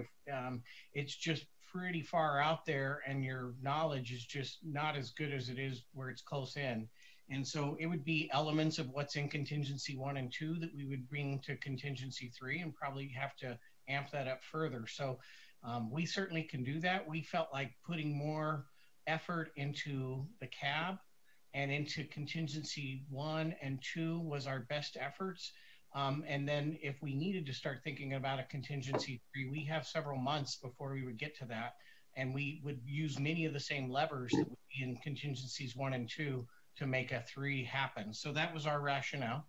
Um, I get that differing people can differ on whether that's appropriate or not, but that was our rationale to the tuition reduction question, um, 10 to 20 percent would be somewhere on the order of 90 to 200 million dollars of additional challenge for the university on top of what we've already presented to you. Um, I would note for the com committee and, and um, that we do not know of any of our peers or schools in the country that are reducing tuition in the fall semester. We know of a number that are freezing, like you have chosen to do, at, our, at the recommendation of President Gabel. We also know that at least two of our Big Ten peers are increasing tuition this fall due to some of the financial challenges they're faced with. So um, when you think about, I guess from my perspective, when you think about the hard things we've done, um, I, I think that this is a balanced approach to maintaining the excellence of this university and keeping the talented faculty and staff that are on the front lines of solving COVID, of solving so many other things that I just can't, we did not support a tuition reduction, even though in a perfect world, it would be something that would be obviously helpful to our students. And finally, on when to decide in fall, we did put in the docket, um, I believe it's in there, and I know it's very lengthy at over 400 pages, but I think the idea would be, as Regent Beeson said, waiting as long as we can to make a decision um, and, and using the science and the experts to help make the decision. And the budget is not going to drive that. The budget is built to respond the decision made by you, the board, President Gabel, in consultation with the governor and the Minnesota Department of Health. And so we would pivot probably contingency one around um, at least look to make that decision around the 1st of July. Um, and then if we if and then we put notionally, but these can move, that we might have to pivot to contingency two somewhere in the middle of August. But um, those are very fluid, and that's the best estimating we can do as we put this budget together and this docket together about 10 days ago. Um, and I'm happy to have President Gabel comment on if I've misspoke on any of those things.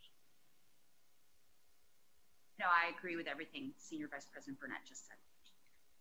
Okay, Regent Hsu, any uh, further follow-up?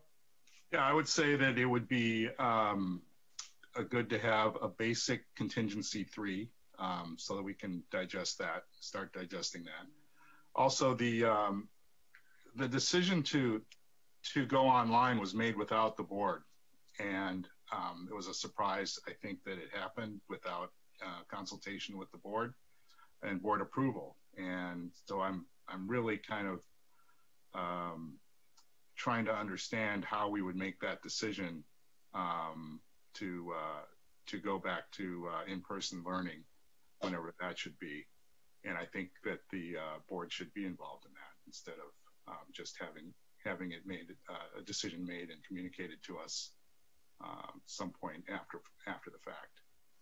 So um, yeah, I guess that's all I have for now. I, would like to see a, contingency three and would like to better understand how we're going to make that decision to go back. Thank you. Thank you, Regent Hsu. Uh, Regent Kenyanya. Uh, thank you very much, uh, Mr. Chair and presenters. Appreciate the, the, the hard work and and the uncertainty. I feel like every conversation we have, it's just there's a lot that we don't know. So we appreciate you putting this together, even in that context. Uh, my question is, and you know, maybe it was in there. There's a high chance it was in there, and I just didn't find it. But uh, I remember when we talked about the refunds for for housing and other fees.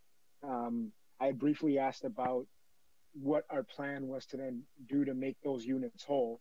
Um, so, for example, that was the refunds. I think were ended up being thirty-five million dollars. So now we have auxiliary units who are short thirty-five million dollars, short uh, in comparison to what they had budgeted and planned for.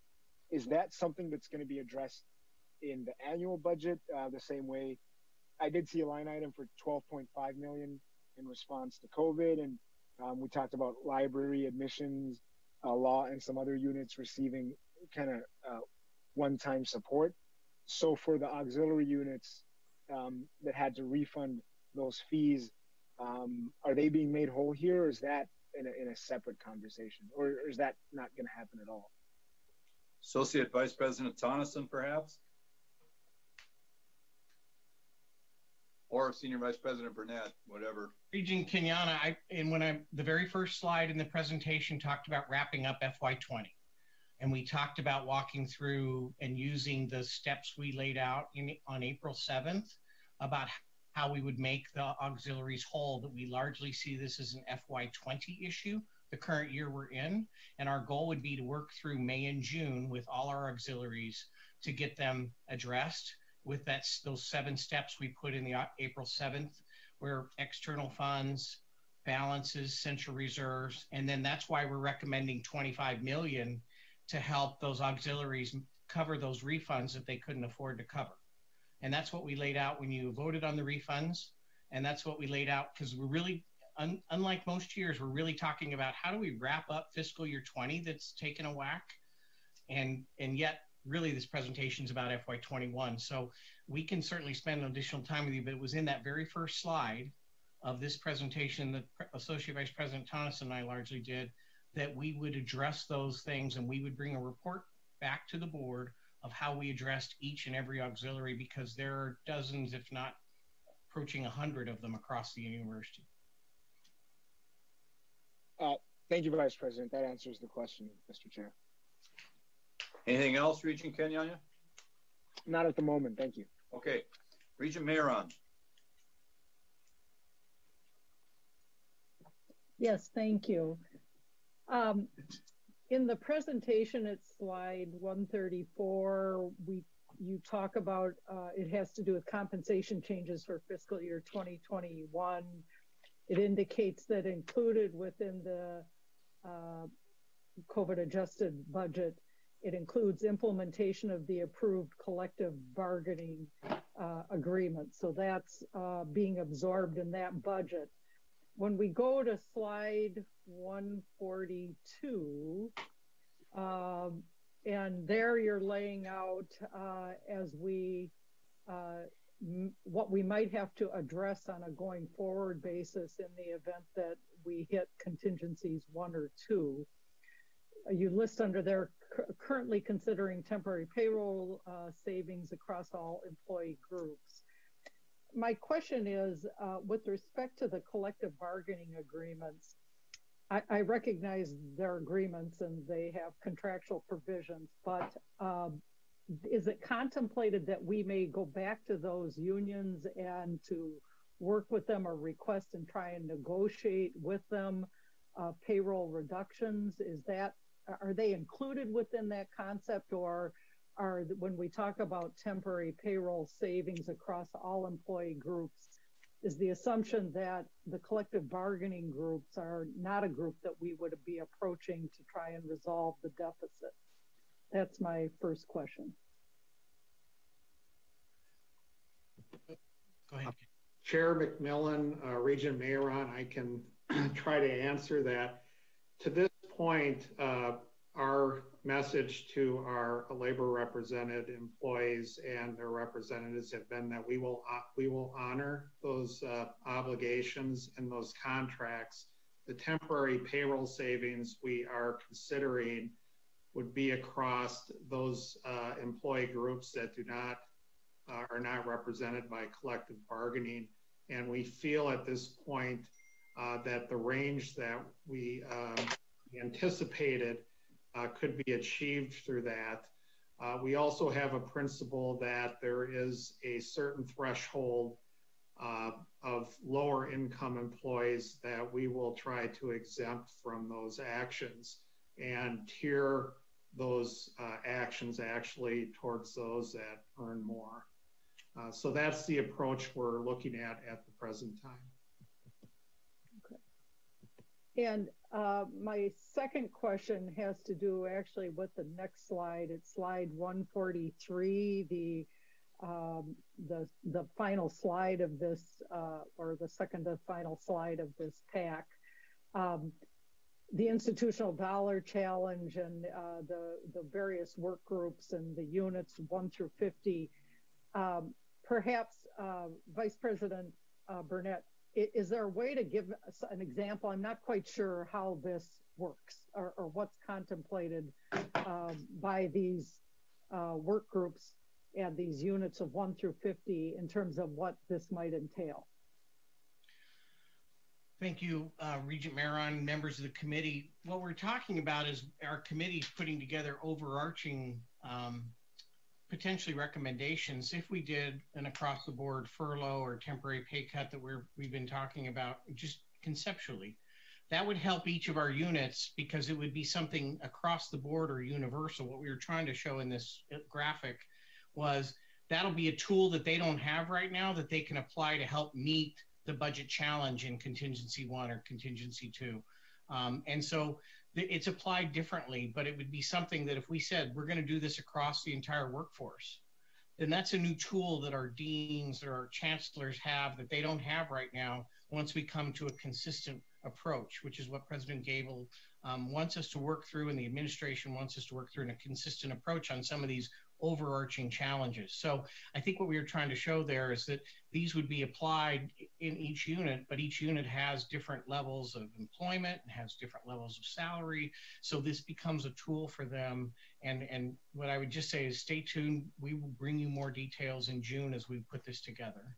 Um, because we our committee has been at it for about three and a half weeks. We're making very good progress, but that's the that's the big idea, and I hope I'm explaining that clearly for you. Okay, thank you. You have. I don't have any further questions. Thank you. Regent uh, Mayeron, thank you. Before I go to Regent Powell, I'm going to insert a, uh, a, clarifying question that Regent Mayeron's question about the, our, uh, our, our union employee commitments brought up. And this, I'm going to state this, but I'm doing so in the form of a question. I believe we have meet and confer requirements in each of of our labor agreements. And isn't it still an opportunity, even if we don't look at pay rate changes, which are defined in those contracts, to look at uh, how we might, uh, you know, look at furloughs or reductions, those sort of things. And again, I'm not hinting that that's any higher priority than anything else, but as the committee goes forward, Senior Vice President Burnett, I assume you would, you know, those meet and confer opportunities might leave places where you could look for cost savings there too. Is that true? Yes, sir. And I would ask uh, Interim Vice President Horstman just to comment briefly. We we do have the ability to talk about it, but we built this base budget assuming we were honoring Understood. all contracts. So, Interim Vice President Horstman, would you like to comment? Yes, thank you, uh, Senior Vice President Burnett, Chair McMillan, uh, Regents it is we are required to meet and confer uh, for various um, decisions and and furloughs are one of them whether it's a broad furlough that would apply uh, as part of this solution or if we have a local situation that is due to lack of work we must communicate that we are going to meet and confer and uh, have that formal session. So that is something that will likely be part of the process as we move forward and have these uh, situations arise. Thank you. Regent Powell. Uh, thank you. Uh, thank you, Chair McMillan. Uh, just a few brief comments that are going to echo some things that have already been said. I'll be very, very brief.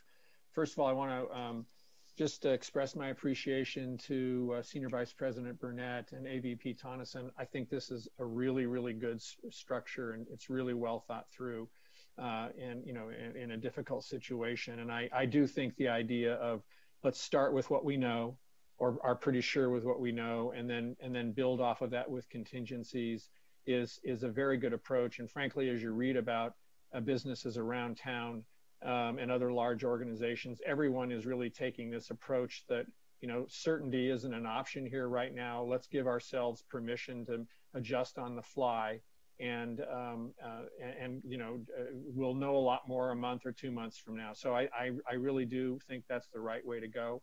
The second point I want to make is that al although this is a very challenging situation, and you know we could be off three, four, five percent in revenue. Uh, I suspect there are quite a few big organizations in town that would trade places with that, with tra trade places with us on that if that's what we uh, if that uh, what this ends up being, I do think that this is manageable, and uh, uh, and and we've we've seen a good blueprint for how to manage it. I also think we should look at it as primarily. I mean, this is going to be a one-year problem, and I I'm I'm willing to predict that a year from now, when we're sitting here, this will be in our rearview mirror, and and we'll be thinking about how do we really go hard to you know come out of this strong and recover strongly and take advantage of you know all the great capabilities that we have as a great institution. So you know this is a one year thing. Let's not do any harm as we as we think about um, you know uh, getting from now to a year from now. And then finally, I just want to echo, I mean, a number of people have talked about interim VP Horstman and, and, and Senior Vice President Burnett and their commitment to look for other longer term efficiencies and longer term uh, uh, productivity opportunities. I think that is really, really important. And it's been mentioned a couple times, and uh, I'm sure we'll come back to it. I do think it's an important aspect of this whole situation. So that's all I've got. Thank you, Regent Powell. I uh, sorry he stepped away for just a moment. Uh, next on the list is Regent Rosha. Thank you, Mr. Chair, and you missed out. It was it was a touching and brilliant statement by Regent Powell, but I think you can watch it online later. I heard it. I just didn't see it all. Thank you. Uh, thank you. Um, just a, a, couple of a couple of items here. Um, you know, I, I, I'm I'm a little bit concerned about the timing, and I'd actually be interested in in, in understanding um, what kinds of conversations have occurred. You know, right now the big wild card, I think, um, for much of what we're talking about in these plans, is what's going to happen at the state. And um, I thought that it was maybe a little. I, I, think we should have maybe a little bit more uh, of an eye toward potential unallotment concerns. Um, it hasn't happened yet, but we just had the report come out where the state went from a, a you know two billion dollar roughly surplus to a, um, a two billion dollar deficit to try to cover. Um, and I think we at least have to be mindful of the fact that that could have a pretty profound impact on us. And, and, and where I bring that up in relation to the stuff that's before us, and I think it's, you know, obviously very unique work and it's, it's, uh, it's, very um, robust process and information in front of us for us to consider. Uh, but you know, we started talking about June and after that in, in this in this discussion, and the legislature is already going to have taken care of its business. And and so um, you look at some of the the various pressures that would have us giving a very positive report on where we are, where we're not going to have a, a, a, huge issue, um, particularly as it relates to this board's um, uh, determinations on, on how to uh, do the things that I think Regent Powell just cautioned us against doing, which is overreacting. Uh, but at the same time, um, if, if, we're demonstrating to the world that, hey, things are great, um, and, you, and you're a legislator and you're talking about all kinds of entities that you need to fund, many of which are really hurting and have constituencies that are hurting even more, um, where are you going to make the cut? You know, if, if, the university is, is saying things are fine um, and these other important uh, legislative priorities are, are, are, struggling, we may find ourselves in, in a, a difficult position based on um, a reduction in, in, what we had already anticipated coming in the door. Um, and so I don't know if, President Gabel, if you, if Mr. Burton, I, don't know that he's available here for this, dialogue, but have we been having conversations with legislative leaders on um, what's going on? I mean, I, you know, certainly they have a, strong interest. I, don't know that I've ever met a legislator that doesn't have an interest in, how we're um, treating our, students, particularly resident students, on, on tuition as we go forward. What's our goal in terms of educating their constituents? Have we had those conversations with legislative leaders to understand as this as this fight becomes, I think, you know, for state resources becomes more intense in, in the coming weeks? Uh, do we know where we stand, and are we taking? And, and is this approach um, putting us in a good position to ensure that we get as, as much support or retain as much support from the state as we possibly can? President Gabel. Uh, thank you, Chair McMillan, Regent Rosha. Yes, we are in continuous conversation with um, party leadership, committee leadership, uh, the commissioners um, on all fronts. As you know, we're directly involved as scholars and experts on what we're doing on the public health side. Um, we've been in regular communication in ways that yielded the partnered support with Mayo for the testing. That all went through state government, governor's office, and commissioners. And we have been talking with um, party leadership and committee leadership about budgeting in addition to the commissioner's office there.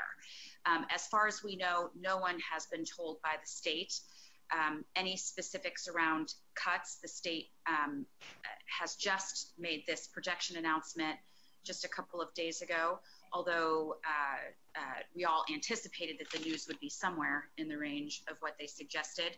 They have not made their plans yet. So we have no information, and from what we understand, no one else does either, about how the state intends to respond to the information that they have now just made available. But what we've explained to the state is essentially what we've just explained to you with, with less detail, which is we're not fine. We have a plan. It's an extremely challenging plan. Uh, and we will do what we need to do in order to curate the mission and continue continue to fulfill the service that we undertake to the state, but that we are presuming that we will be able to do so with their partnership and support. Thank you, Mr. Chair. If I may, if I may. Yes, please, Mr. or uh, Regent Rowe. Thank you. Um, and you know, I, I thank you, President Gabel. And again, it's you know, but it, there, it, it, we're going to be looking across a lot of different um, elements, and, and our, our, our, our fellow um, public higher ed institutions and on the Minnesota State side, you know, we're kind of been watching to see what's happening there in terms of how things are happening with personnel and otherwise, because um, I think those things are all going to be signals as to the direness of need, and, and we'll we'll have to see where that goes as we go. A, a couple more real quick points on that. Uh, Regent Hsu brought up the the, the issue of uh, online versus not online, and and you know we I think we did a wonderful job of making the transition to online in terms of from a technical component. Obviously, this had been a conversation that we'd been having for a number of years, where we were, you know, where it was understood that um, it, it, it, was a virtually uh, a very difficult task, we'll call it that, to to, to increase our online um, offerings, and, and and so I'm glad to see that that we were able to overcome that previous reservation. But as it relates to the board being involved in that dialogue, I, you know, I think that's a, a function of our written policy um, it would be a, a, a board um, conversation that, that would be appropriate based on public interest, based on reputational risk, particularly as you're dealing with a pandemic. So I would I would ask, you know, and certainly hope that that the, the entire board, which is the only authority to act on behalf of the board in that case, would be uh, would be a part of those continuing conversations. Which again, it, you know, it seems like the plain language of the of the policy of, of public interest would would uh, require that. And then finally, I'll just say that when we talk about the student issues, I, I was you know pleased to hear um, Regent Beeson talking about incentivizing students um, in, on our uh, on, on, some of our campuses. Um, and I, I, mean, I think it's really important for so many reasons. Obviously, just the economic part of it. Um, but I think that we have to look at this. Um, you know, you, I think to some extent we as a board have to decide where our priority is um, in, in, multiple ways. you know, if, if we if, if we want to maintain uh, these, you know, fairly um, you know, rigid uh, objective standards in, in, in, some respects for the, the broadest number of students, you know, trying to find a way of, of attracting folks to campus with, with reduced tuition, with more aggressive pricing to fill the seats um, may make sense. If, if we're not willing to do that, then you would maybe cast a wider net uh, to a broader number of students, students that are certainly going to have the capacity to succeed if we meet them where they are, uh, students with uh, uh competent ACTs and good GPAs um, that, that as of right now are maybe not being admitted, uh, but, but certainly would be very interested in attending their state land grant university. So um, I, I, I, just, you know, we'll talk more about it I, perhaps tomorrow, but, but I really do believe that we need to uh, um, maximize our enrollment, make sure that we continue to do that um, to demonstrate that value um, and and also just the economic benefit of, of keeping those those spots filled. Um, that is all I have, Mr. Chair. Thank you, Regent Rosha, and I'm going to, because I appreciate the dialogue you've you've opened here about the the uh, you know how is this how is our fiscal situation viewed at the other end of University Avenue? If I think about uh, Minneapolis and going to St. Paul, outside of Aitkin County, where I'm looking right now, I believe that that there isn't an element of confidence in how this is put together, confidence that we have the resources, tools, and expertise and experience to move forward. But I wouldn't by any means say it's confidence without a considerable amount of and tremendous amount of of uh, cutting and uh, pain. The numbers that are in the two scenarios 125 i think and 142 coupled with i think we're down 73 this fiscal year and uh, the covid adjusted basis has another 53 if i'm remembering my numbers right. You know you put uh, either the 2021 or couple the 2020 with the 2021 fiscal year numbers and uh, you know we're up against some really really difficult challenges so i hope our friends in the legislature appreciate that while we may speak with some confidence that we can find a way through this. We aren't by any means confident about the fact that this is going to be easy. And I believe Senior Vice President Burnett has said several times in the context of these discussions that the single most important element of our confidence comes from assurances that the state allocation shows up every month. And nothing is more sacred to us than, than that. I'll let him comment before we go to Regent Simonson. But I do appreciate the, the spirit of the comments you offered. I just hope nobody's, you know, reading the fact that our leadership team and, and sees sees a path here as oh this is easy because it's really really really going to be hard and there's a lot of heavy lifting in the middle of uh, those two joint uh, work groups that that uh, President Gabel's presented and I would expect over the next month we're going to start to see just how you know hard that's going to be. So um, I don't know that that really requires an additional comment Senior Vice President Burnett. Let's keep moving. And uh, um, so I didn't mean to that as a rebuttal in any way, Regent Rosha. I just wanted to tell you I appreciate what you were saying and uh, thought I'd add my own as committee chair to that. Um, my own thoughts and recognition of what you said is is important to consider. Regent Simonson.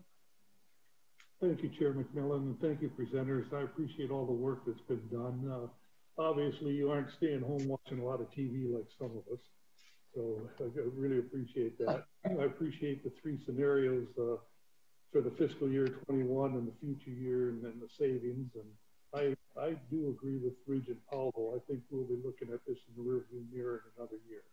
I think the stuff that's uh, happening as far as vaccines and treatments, and especially at our great university, all that stuff that's happening, testing, et cetera, I think we're going to be looking at at this in the rearview mirror. But going to the current budget and, and at the current 20 budget and the current uh, proposed budget, um, this is my second uh, uh, Um, budget process I've been involved with.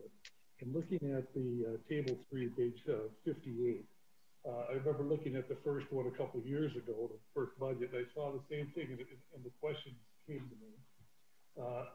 25, roughly 25% of the revenues are tuition, and about 7% uh, fall into grants contracts or something like that. That bothered me from the first time and I, am still interested in that.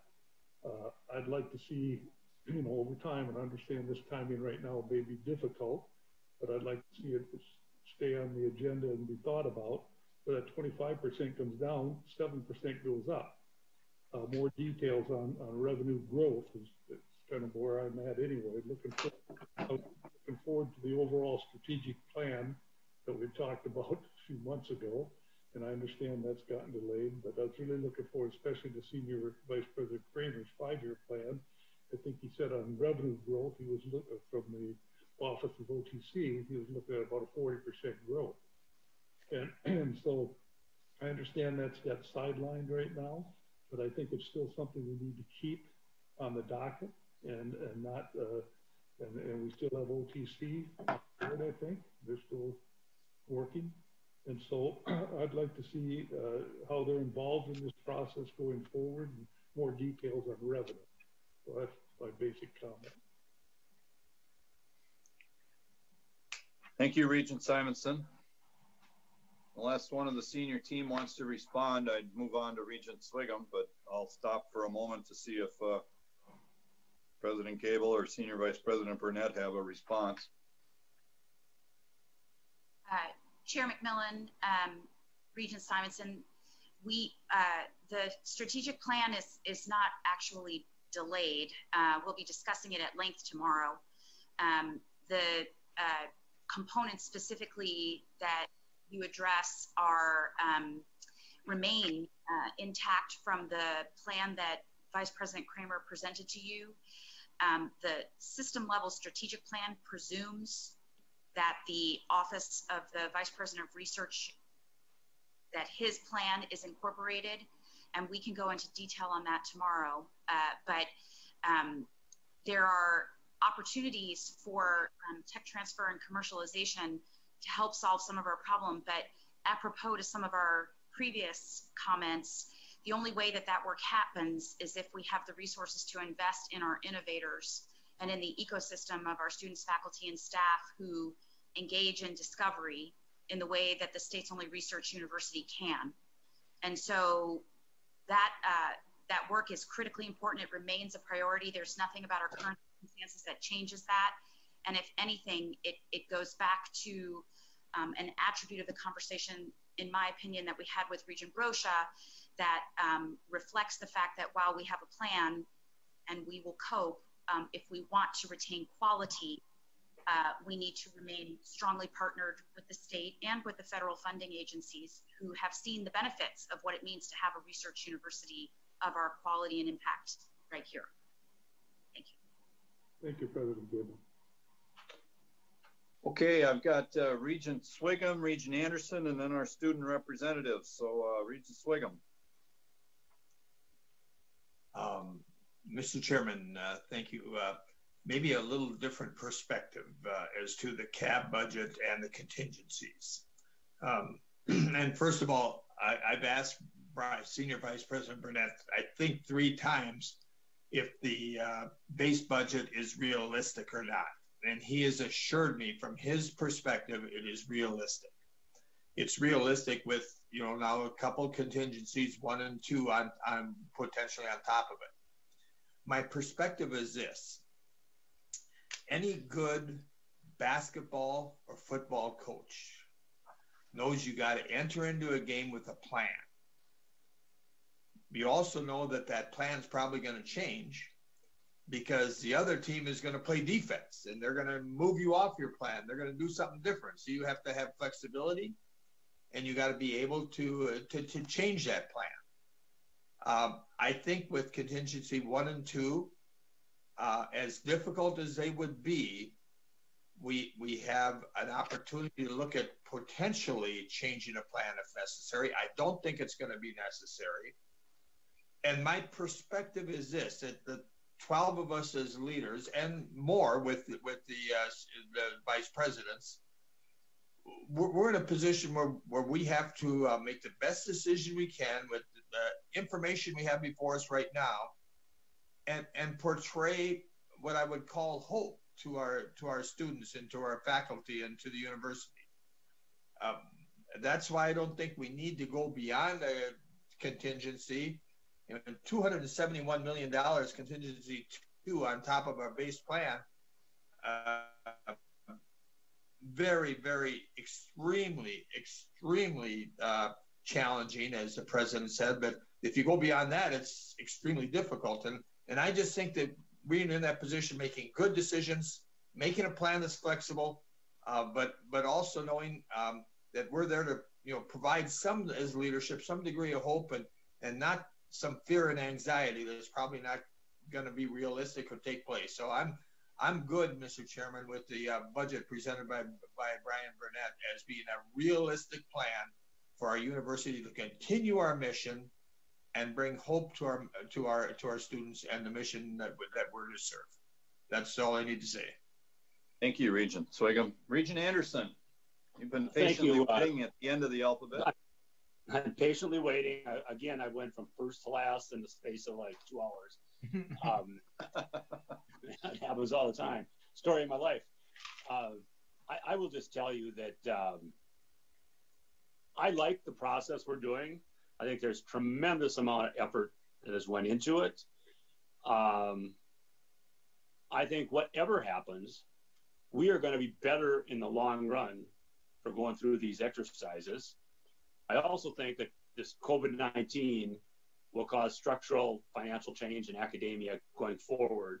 And so doing these exercises now is a good idea. Um, I really agree with Regent Beeson when I'm of the opinion that people want to get back, the, the students I've talked to and the parents I've talked to want to get back to some sense of normalcy on college campuses next year. And I, I think Regent Beeson is, is right on that he, you know, I call it, we, we don't really need to be uh, uh, peered into being in a hurry. We got, you know, some time to make the decisions. Let's not hurry. I, I think the, um, I love the idea of filling the hole in the 2020 budget and going forward with a blank slate and having a new budget for 2021. Uh, we talked about debt, we talked about other things, but if we can fill the budget with central reserves and some other things for this year, put it behind us and go forward, I think that's good. I think the budget is optimistic, but I think is realistic. And and there's an agreement with with Regent Rosha also in that, and, and as, as Regent Sviggum just said, we need to be flexible because if our partners at the state are not going to be partners, then the budget's somewhat fragile. But we have to, we can't look at that now. We have to have the flexibility to change down the road and hope they can, they want to continue to be partners with us. They've got difficult decisions to make too. Um, I the only thing that does surprise me is we talked earlier, and I remember the March meeting allocating $5 million for the president at her discretion to fill any holes. And we thought the, the amounts by the end of this fiscal year would be quite high.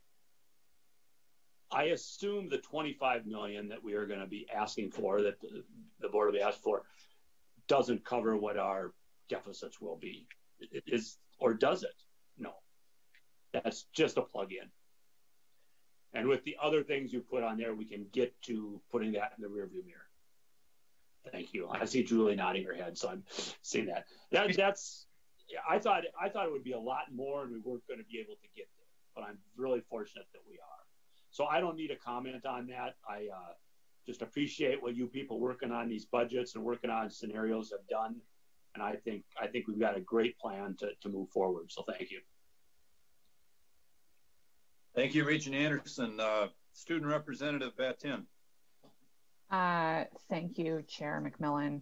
I have a couple questions. Um, the first is kind of a, it's a very small one, but um, on page 103 of the docket, um, line 33 of the budget, as a professional student, I'm curious to see about the four cent drop in the professional student uh, fee when all else are stable and what it seems like it doesn't amount to much so i'm just curious about it.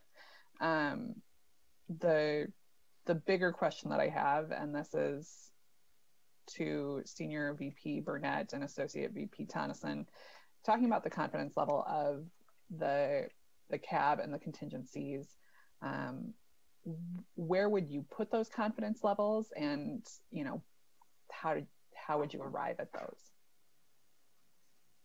um, Mr. Chairman, um, I'll have, we'll, we may have to get back to you on exactly what's going on, but uh, Associate Vice President Tonneson may know about the element of uh, page 103. Julie? Uh, sure, um, Mr. Chair, Student Representative Batin. You know, we will get back to you on it, but my sense is that those numbers are, there's a lot of uh, sort of math behind them that isn't it, isn't a decision about how the funds will be used. It has to do with the number of students that are in the base and so on and so forth. There's math behind there, but we can get back to you with the specifics. To your second question, and I ask Associate Vice President Tonneson to um, comment as well. That's a great question about confidence level. Um, each day, we get more confident in the CAB. And you heard data this morning um, from Vice Provost McMaster and Provost Croson um, that summer enrollments are actually looking stronger this summer than last summer. That if that if we come to even being level with last summer gives us great confidence that we've modeled this correctly, and um, we keep making progress every day on fall enrollments across our five campuses. So each day, I would say we get more confident about it. Um, contingency one and contingency two, what I've noticed, and uh, just to comment as the co chair of one of the committees, is just an amazing willingness of faculty, students, staff to say, we're all in this together. We're going to figure this out together. And if we all have to share some pain to get there, um, to keep this university vibrant, um, the, the esprit de corps has been just um, amazing to be able to be a part of. And so I guess, and, and Associate Vice President Tonneson's been here much longer than I have, but and been through a lot of budget challenges at this university. But I would tell you that um, we we we feel we feel confident. We wouldn't bring this forward to the board if we did not feel confidence. And each day, I think we feel more confident about it, given what's going on with our folks in admissions and the hardworking folks around our campuses getting this class. Julie. Uh, the only thing I would add to that is the the it isn't it I agree with the enrollment pieces and feeling more confident about what is happening there with the continuing students, the retention and so forth. The other piece though we have to remem remember is that a big piece of the impact isn't about students. It's actually for the university's budget about all the other activities we are engaged in and whether or not those activities can continue. I still feel very confident in the CAB because we were, I would say, a little bit conservative about those activities coming back online. So the the way that um, it, and again, I'm more confident every day because they're really working hard to get the clinics going and to think about how we can operate with our activities. Um, so I don't think, you know, I think that's the piece that there is more uncertainty around but I still feel confident in what we presented because I feel like we have been a little conservative on that as well. So. All right, thank you both. I'm going to move on to our uh, our last uh, member of our of our questions here. The last person to provide questions, Student Representative Tojo Garcia. Do you want to? Uh, do you have anything for us? Yes, I do. Thank you, Chairman. All right, and, and thank Proceed. you, presenters. Um, I think my question is for Senior Vice President Burnett or Associate Vice President Tonneson. Um, earlier today, during the Mission Fulfillment Committee, Regent Hsu alluded to the idea that reducing tuition could help to attract more students to the University of Minnesota next year. Uh, during the same meeting, it was discussed that the university's enrollment situation may be particularly fragile uh, from a financial standpoint, uh, especially with respect to students and their families' ability to afford coming back in the fall. Uh, as Vice President Burnett mentioned, the University of Minnesota has a unique opportunity here to be a leader not only among the Big Ten, but also nationally. Uh, could you speak a little bit to the feasibility of that? Mr. Chair, yes, thank you, student representative. I, I um, touched on it before, but I guess I will say um, I feel comfortable with where we sit on our tuition piece, particularly when you consider that we're going to have a big mix change in the number of international students. We're projecting the, the fewer uh, non-resident, non-reciprocity students, and we have to factor that into our equation as well. And so that's going to be another revenue challenge that we have put into this budget. But I think that, um, uh, again, there's a balance, right? I mean, certainly it would be great if we could reduce tuition, but I think when you think about the challenges we face already, um, the number of things we're trying to do to ask people to make sacrifices to make this work, I think overall a tuition freeze is much more responsible. It's much more balanced. Um, and, when you consider that, that I think enrollment continues to look strong for summer and, continues to look better each day for fall, at least in most cases, I, feel like we're in a really good spot and a lot of institutions followed us with the tuition freeze. And again, a couple of our peers are, are going, are adding to tuition costs this fall and have announced it. So um, I think on balance, my answer to you would be in this plan that we put together in these uncertain times, I think the, the balance it, that we've struck in this budget pr presentation um, is the best I can do for maintaining excellence and keeping what students expect out of the University of Minnesota in our classrooms and laboratories. Thank you. Is that uh, is that it, uh, Student Representative Tojo Garcia? Uh, yes, thank you very much. Okay. All right. We have uh, no action before us on this items, but we do have a capital budget um, item to consider next. That's review, not action. And then we have action on real estate. We have uh, information items, and we have a consent agenda. Knowing that we've been at this two well, coming up on three hours here.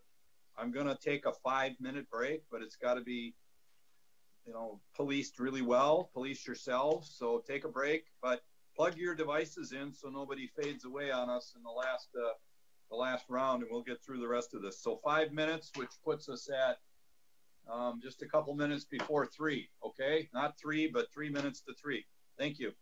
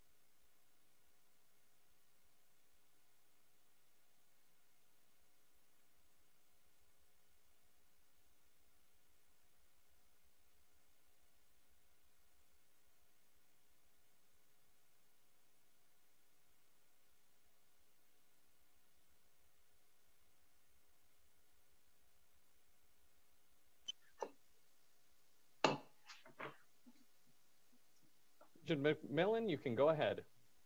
Okay. Well, thanks everybody for taking a very short break, but uh, we've got still some key things to do. Um, our third item of business today is uh, is review of the president's recommended uh, fiscal year 2021 annual capital improvement budget. Like the operating budget, we'll act on this next month at our regular June meeting. And uh, with that said, I think President Gabel, Senior Vice President Burnett, and Vice President Berthelsen are here to talk to us about uh, the capital improvement budget, which, of course, in a world where we're looking for a bonding bill, probably is uh, is full of uncertainty, like the last topic. President Gabel. Chair McMillan, can you all, pardon me, but can you all see me? I can hear you. I'm having a little bit of a technical difficulty, but uh, I think in the interest of time, I, I, probably ought to just proceed and hopefully. Uh, we can hear you just fine, so. Good. Uh, well, thank you very much, Chair McMillan, uh, Vice Chair Beeson. As part of the Board of Regents policy, the administration is directed to develop a capital budget with a six-year time horizon updated annually. The total fiscal year 2021 capital budget is 423.6 million and takes into account our state capital request, which includes over 317 million in state capital request projects including the Twin Cities Child Development Replacement, A.B. Anderson Hall in Duluth, and chemistry and clinical research facilities on the Twin Cities campus.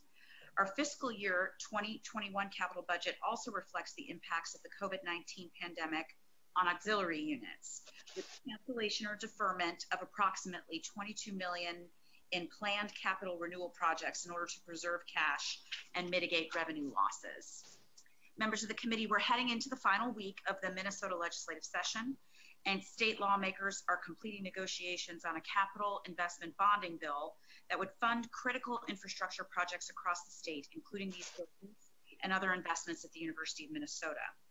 We believe that a capital investment in the university is an investment in our state. It is an investment in our students who become workforce ready graduates and leaders it's an investment in discovery and research and in cures by our world class faculty who transform our state and society, and that has never been clearer than it is right now. It's an investment in our critical infrastructure, shoring up our buildings while money directly in the hands of local contractors who work on projects across all of our campuses. Really looking forward to the legislature's action this week. And Mr. Chair, with that, I'll turn it over to Senior Vice President Burnett and Vice President Mike Berthelsen to discuss the details. Thank you, Mr. Chairman. I'm going to continue uh, the, as uh, President noted, if we can move to the next slide, please. Um, the Board of Regents policy does direct the administration to develop a capital budget with a six-year time horizon, and we update that annually. And in May and June, we you the board refu- reviews and approves the annual capital improvement budget for the next fiscal year. And the presentation today covers the projects we'll be undertaking in the coming year. You've seen these before, and this six year capital improvement plan serves as the foundation for our major capital investments. We will revisit this plan in the fall when it's been updated and brought to you for review and action. Next slide, please. And just a reminder for the members of the committee, um, year one of the six-year capital plan is what we would be bringing forward. It does include any project over a million dollars. They need to have a completed pre-design and they must be fully funded before we bring them to you and approved projects then move into design and or construction and then there's different stages like schematic design where we bring up those um, items back before the board in the normal process and with that mr chair i'd like to turn it over to vice president berthelsen um, assuming his wi-fi is stable and working and if not i will pinch hit for him um, can everyone hear me okay yes all right very good um, slide um, the next slide, please. Thank you. This is a breakdown of the broad categories in the annual capital budget. As you can see, we rely on the state for about 75% of our capital funding. Next slide.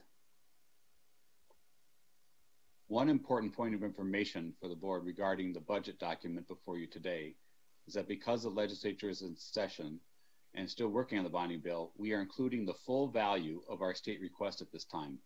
We will adjust this in June based upon final actions by the state. Next slide. For your reference, these are the projects included in our current state capital request, which the board approved in October.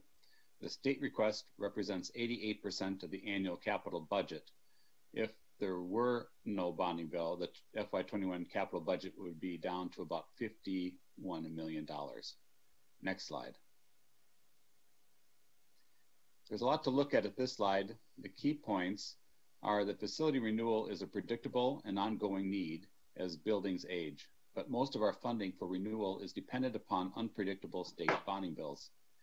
For us to maintain our current facility condition, we need to annually invest between the two gray lines, which is how we get to our $200 million state uh, request.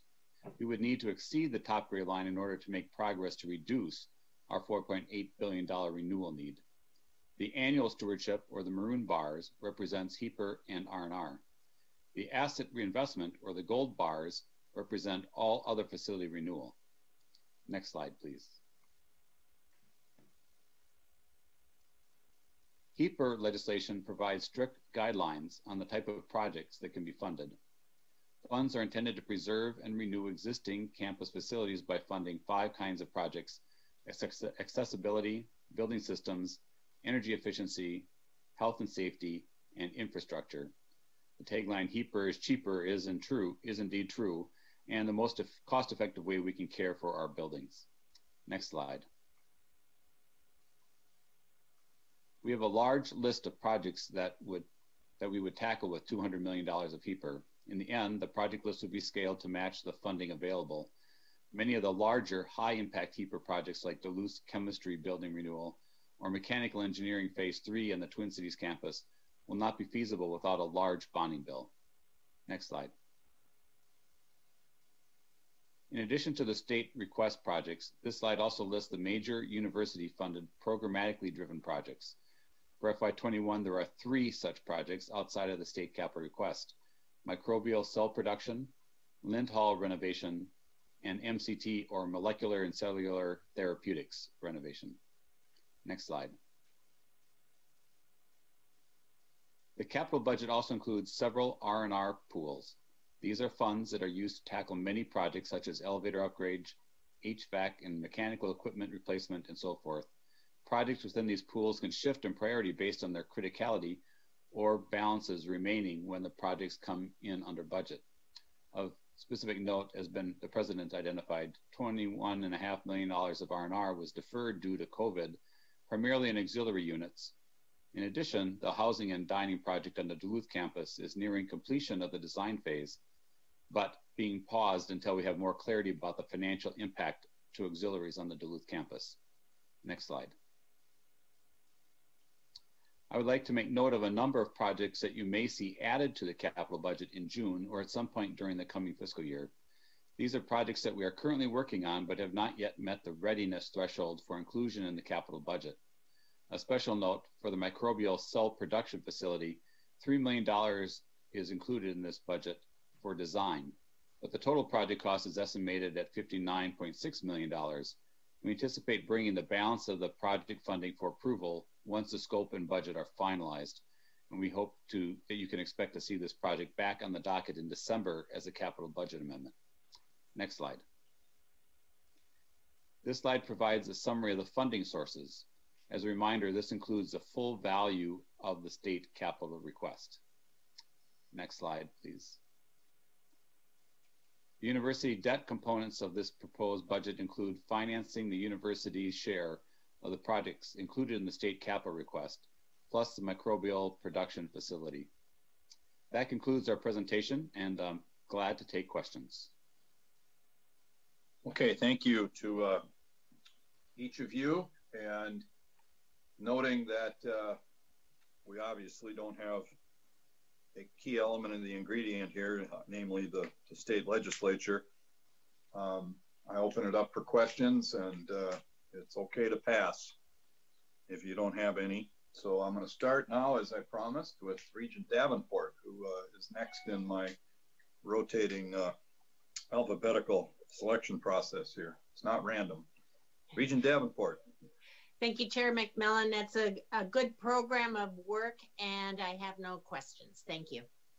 Very good. Thank you. Regent Her? Yes. Um, Vice President Burnett and Burlington, I have a question with regards to the capital um, bonding language. What is the um, what is? I know we're not certain, but what what do they have allocated for uh, for us currently? Mr. Chairman, um, Regent Her, we have not, at least I have not seen anything as of yet from the legislature. They are still in discussions, but we have presented the entire list for the regions. Um, the fifth one, the cl clinical research facility, we've been advocating about refinancing the biodiscovery debt that you gave us approval to ask the legislature for. And it's my understanding that bill may be moving in Senate Finance either today or tomorrow, but we have not been privy to any lists yet from formally from any legislators. Mm. Okay, thank you. Regent Hsu. Uh, thank you, Mr. Chair. I have no comments or questions. Okay, thank you. Regent Kenyanya? Uh, Mr. Chair, I've been notified that it's okay to pass. and you're taking full advantage of that. I'm going to exercise that right, yes. Your, your colleagues will all appreciate it as we keep moving here today. Thank you, Regent Kenyanya. Regent Mayeron?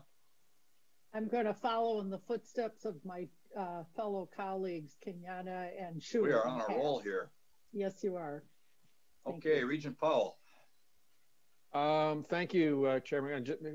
I just have a quick question for President Gabel. I know that she is um, in regular contact with legislative leaders. I'm not going to ask her for predictions, but if she could just give us maybe a little of comment, a bit of commentary on what she's hearing in terms of their inclination on on on bonding and the components of it. Uh, thank you, Chair McMillan. Regent Powell. Um, we are um, hearing a continued appetite for bonding, although we know that the subject has been one of public uh, debate in the last few days. Um, we're watching the governor's supplemental budget really closely uh, to see if there's any um, indicator or indices as a result of that. Um, and that would guide a lot of the summer decision making. But um, all indications are positive still for bonding, just reframed in light of the current circumstances. Great, thank you. Okay, let's see, uh, Regent Rosha. Thank you, Mr. Chair. Just, just I'll put my usual pitch out there and, and tie this in with the last conversation. That um, what what we do operationally, and, and when we look at the different shifts in in what's going on demographically in higher ed across the state, public and private, the role that we play, our commitment to serving a broad number, the largest number of, of resident students that we can, uh, those are the kinds of things that will be part of the calculus when legislators are deciding where to spend their scarce capital bonding capacity uh, as well as their uh, operational money. So uh, I think we need to continue to, to, to make the case that we're continuing to be the, the, uh, uh, the institution of choice across our system uh, for for Minnesota uh, students, and that that I think will will serve us well as we're competing for uh, for the support and the bonding. Thank you. Regent Simonson. No comment. Okay. Regent Sviggum. Um, the state bonding bill will be the last bill out of the door next week. That's all I need to say.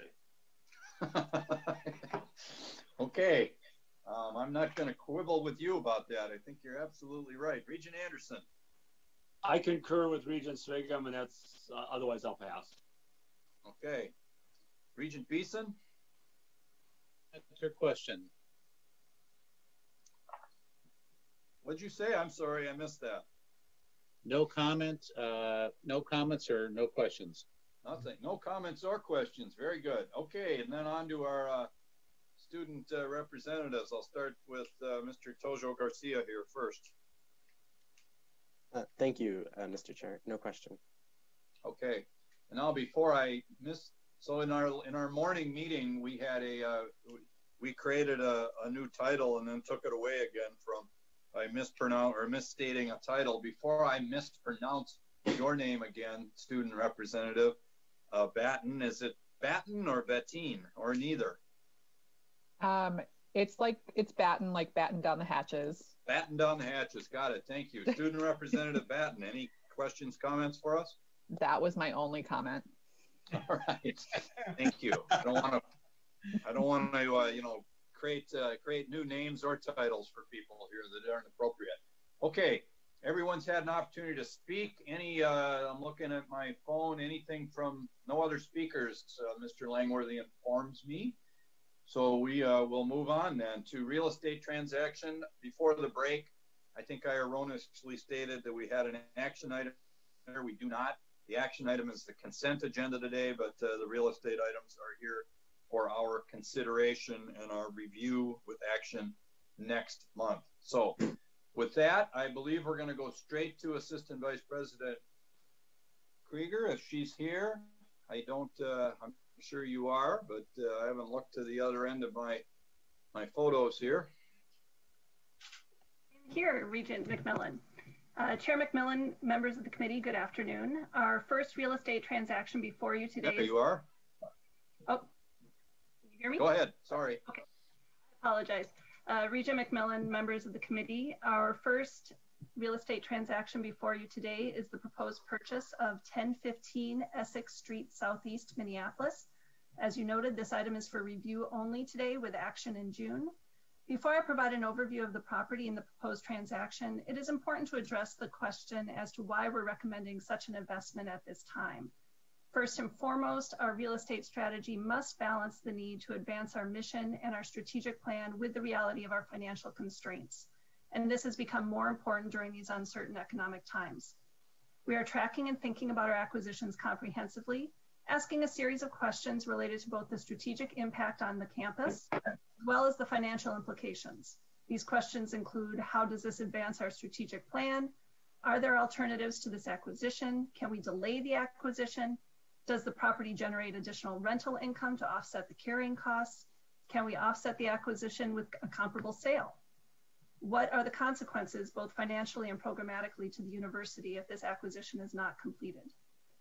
In several cases over the past few months and weeks, there have been properties that have been marketed to the university that we have opted not to pursue because they do not stand up to the cost benefit analysis of these questions. But in the case of 1015 Essex, we believe there is a strategic imperative for the university to move forward with this acquisition. And as a result, we are presenting it to you today for your consideration. The subject property is, oh, next slide, please. The subject property is situated on 1.32 acres of land. The property, known as Classic City Apartments, is located on a block that has been identified in the university's long-range plans for a future clinical campus expansion. The northern portion of this block includes the Dinnaken Office Building's parking lot, which is part of the East Gateway land exchange approved by the board in February. The current use of the property consists of a 121 unit, five building apartment complex plus the accessory parking lot. The university has been interested in this property for some time, but had not intended to pursue acquisition for a number of years. However, the seller put the property up for sale in late 2019, marketing it nationally to student housing developers. Given the size of the parcel and the city of Minneapolis's new land use designation of the property as Transit 30, which allows housing up to 30 stories in height, the university recognizes that if the property were to be purchased and redeveloped with a housing tower, it would preclude the university from ever realizing our plans for the block. Next slide, please. And here are just some additional photos of the interior and exterior of the property. Next slide, please. As we consider any real estate transaction, we always ask the question, what is the strategic value to the university? And in this case, this purchase supports the university's long-term plan for developing a clinical campus of the future. Advancing the standing and quality of the medical school and the health sciences to serve the state is and has consistently been a top priority for the university for the last several years. The university has completed district plans outlining necessary size and location for a fully developed clinical campus, which include the current CSC, the planned clinical research facility, and a longer term future hospital. Acquiring this property would allow for the future ownership of the entire block by the university. Next slide, please. The current uh, owner and seller of the property is CPE Exchange 30537 LLC. The total purchase price for the subject property is $25 million, with $250,000 earnest money. The earnest money becomes non-refundable after June 15, 2020. As noted previously, the seller marketed the property to national student housing developers who are able to pay higher land costs as a result of the low vacancy rates around the university and high revenues generated by renting by the bed. The city's recently adopted new land use plan, which significantly increased the value of the property with its high density designation. And that being said, this purchase price does exceed the appraised value of $21.6 million. This purchase price was negotiated prior to the COVID-19 emergency in order to be competitive with the other offers received by the seller.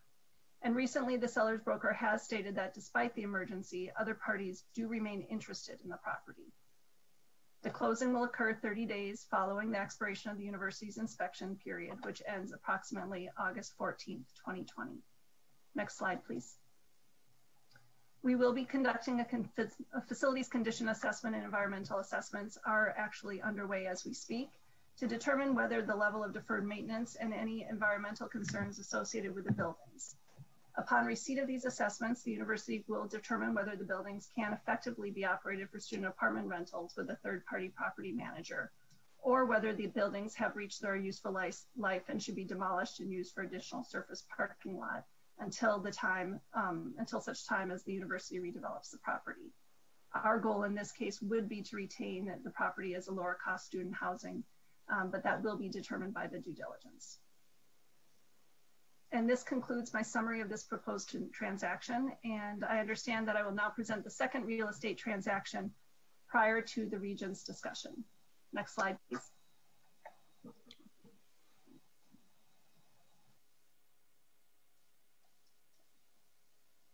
This real estate transaction is also for review with action in June, and this is the proposed sale of 435 acres at Umore Park for, resident, for residential development. For those of you who have been on the board since 2018, this transaction will look familiar. The university offered this property for sale for residential development through an RFP in September 2017 the proposal from Newland Land Acquisition was selected, and the university negotiated and signed a purchase agreement with Newland in June of 2018 for $13.1 million. You may recall that Newland terminated this agreement in September of 2019 following challenges with its financial capital. The university was approached later in the fall by Maplewood Development and Construction, a Minnesota corporation, who offered to purchase the property on essentially the same terms as the previously negotiated purchase and sale agreement. Maplewood has a long-standing history in Minnesota, and its entities have developed over 5,000 commercial and residential lots across the Twin Cities area, including a 120-acre mixed-use site in Maple Grove, and recently and a recently completed development of over 250 acres in Woodbury. As of 2020, Maplewood has nearly 2,500 additional lots and units in their pipeline, including the development of the former 3M Imation site which is over, uh, which is a 200 acre master plan community in Oakdale. Next slide, please.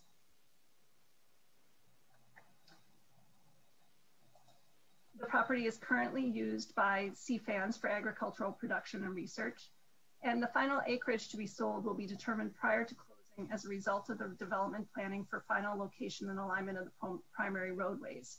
So for example, the alignment of Akron Avenue and Boulder Trail may shift from what was originally planned in the initial RFP, and these possible realignments could result in additional acreage or reduced acreage for the transaction. The purchase and sale agreement would be amended accordingly.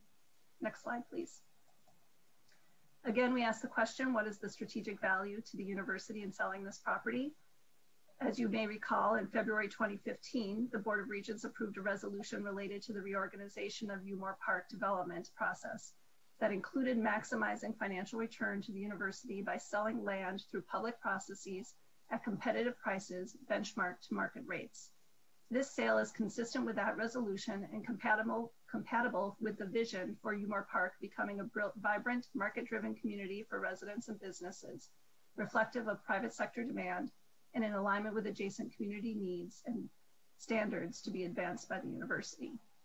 The net proceeds derived from this land sale will be deposited into the Umore Park Legacy Fund as directed by the Board of Regents in 2009. Next slide, please.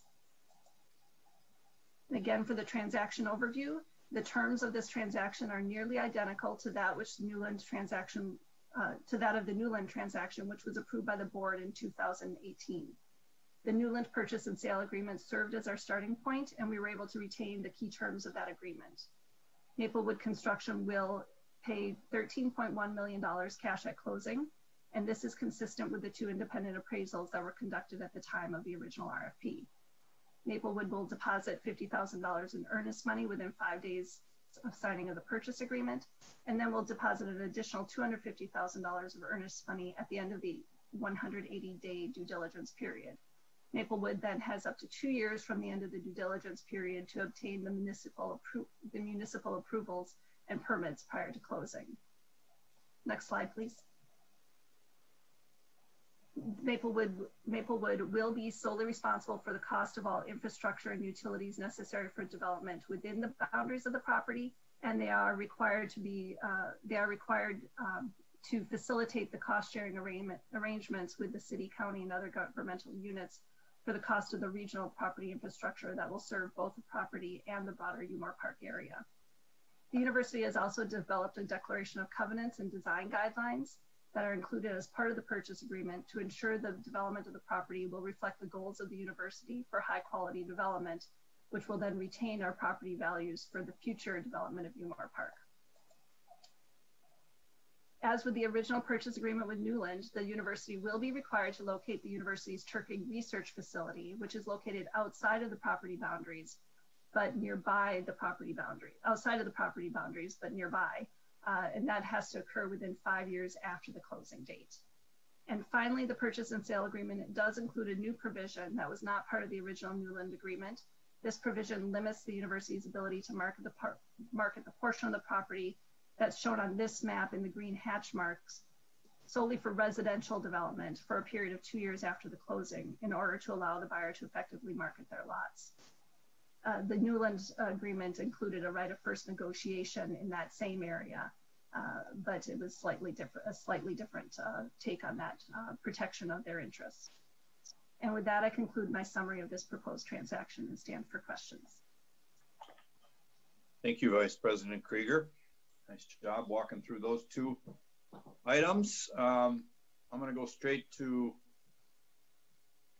the regents here and see if people have comments or questions. Moving down our list, it's uh, Regent Her's turn to go first, and uh, I'll start with her. I don't. I don't have any. Mr. Chair, I'll pass. Okay, Regent Hsu. Thank you, Mr. Chair. Um, I, guess I'm supportive of these transactions. I, I do have a question on the Umore Park property. Uh, and that is, if you can put up that picture again.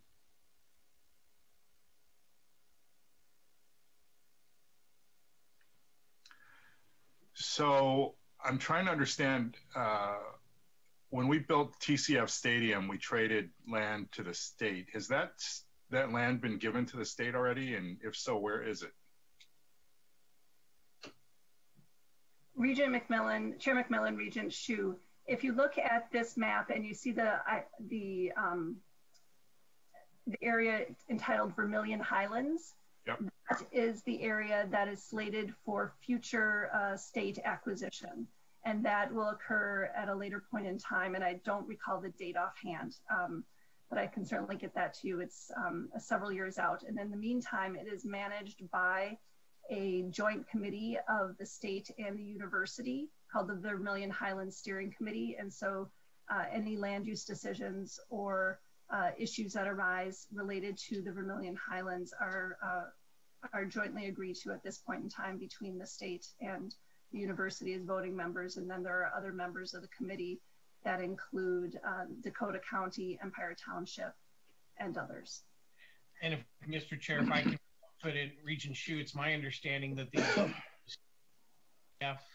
the agreement to fund TCF was that when the bonds are paid off for TCF, the title would transfer to the state DNR on Vermilion Highlands, but only when the only when the stadium was paid off.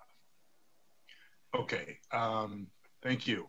So basically, then um, there's not much property left at Umore Park. Uh, It's just that middle part, kind of above the red line, and then underneath the uh, the green hash marks. Is that right? Chair McMillan, Regent Hsu. So if you, as you note in this map here, the uh, aggregate mining lease area is under control, is the area that is being leased to Dakota Aggregates. And the university continues to utilize the property that is not under active mining for uh, purposes of research and agricultural production. Uh, the, as the active mining areas are completed, excuse me, are completed and, excuse me, as the active mining areas are completed and are, the land is reclaimed, that land then gets turned back over to the university. And so we've reclaimed, for example, last year, we reclaimed about 30 additional acres and now that is back under agricultural use. The area in terms of the limited, the area in the green hatch marks, which would be limited uh, for residential marketing area under this agreement, that does not preclude the university from limit from uh, marketing that for uh, commercial or industrial purposes. And so if you think about that area in between DCTC and the OPUS agreement area, that is an area that we're considering for uh, commercial and industrial, light industrial development, and so would not be subject to this uh, uh, limitations uh, related to the sale of this res for residential, if that makes sense. Uh, and then you're correct, then the area south of Highway 46 is not under any uh, limitations. Okay, thank you. That's very helpful. Thanks for asking those questions, Regent Hsu. That is helpful. It's easy to lose track of what's going on on this sizable piece of property to our uh, our south. So I appreciate that as well. Regent Kenyanya. Uh, thank you, Mr. Chair, uh, AVP Krueger. My questions are also about Umore Park, and um, you alluded to it earlier. Obviously, there's been action on before, um, so maybe some of us newer to the board just don't have that context. So my questions are around, um, you know, you mentioned that that the any sort of transaction has to be in line with the vision for Umore Park. Um, if you could touch on what that vision is and whose is it? Is it the universities or the cities? Um, and then uh, that the proceeds the proceeds go to the Umore Park Legacy Funds. And if you could uh, address what um, what those funds would then be used for in the future or their purpose. Chair McMillan, Regent Kenyanya. I'll start this uh, this response, and I might have to phone a friend in some of these. A, a number of these uh, actions by the Board of Regents occurred prior to me being in this current role of Assistant Vice President for Planning, Space, and Real Estate. But sure. Umore Park has a long history in terms of the university's vision for how this area should be redeveloped. And um, I can certainly provide you, I think it'd be helpful maybe for all of the regents who are relatively new to the board uh, to receive some of those previous docket materials go into a little bit more history uh, about Umore Park and um, uh, the the vision and where we where we were and where we are today. And so in the um, mid in the early 2000s or uh, uh, prior to 2000 you know, in 2015, the university had the vision that we were going to become a master developer for the property and that we would actually do play that development role. And there was a Umore Park LLC formed to actually play that developer role. In 2015, the board decided to take a little bit different approach and disband that LLC and to really decide decided that this really needed to be a more market-based approach where the university would sell the land and then but be still be subject to some of these design guidelines and uh, covenants that the that really protect the university's interests long term and so working with the city uh, we we did the city does have an AUAR an alternative urban area uh, wide review plan for this uh, for the area that really calls out the long-term land use plan for the area. And this is consistent with that long-term land use plan. And so we do work closely with the city of uh, Rosemount on this, and we have been lockstep with the city in terms of uh, this sale of this 435 acres. They were really disappointed when uh, when the Newland transaction fell through last year. And are uh, excited that we have a new developer uh, for this. And so then the, this, uh, the developer will have to go through the city's uh, development review process and uh, zoning review process, as well as meeting our uh, design guidelines. And if I can jump in, Regent Kenyanya and members, um, the Umore Legacy Fund is a Regent created fund for when property sales of this property. It's directed by the regions to help the programmatic elements. It's we can get you copies of that, but um, it doesn't just go into a real estate account somewhere. There's actually designated by the board when we do these property sales. The other complication here is this land came to the university around 1948 at the end of World War II and includes what was called then Gopher Ordnance Works. And members of the litigation review committee of the board know that there's challenges there with cleanup from work that was done on smokeless um, gunpowder during the war effort that um, uh, the federal government and a contractor left in place that we're still dealing with. So it's a very complex piece of property. But the goal has been for the board to monetize it and put as much into the Umore legacy. Our, the goal has been to monetize as much as possible that doesn't impact the research that's gone on down there, much of it agricultural in in in uh, in CFANS. I'm going to uh, jump in here, and uh, Regent Beeson has signaled that um, he may have some help here for this is what is becoming a Umore Park education opportunity. So um, he's raised his hand, and I'm going to ask uh, ask him if he's got more to bear on or something to add that bears on uh, Regent Kenyanya's background question. Thank you, Mr. Chair. The the um, you know, the project was commenced about uh, a dozen years ago, and it was a different world. Um, and as uh, Assistant Vice President Krueger said, we were to play the role of master developer.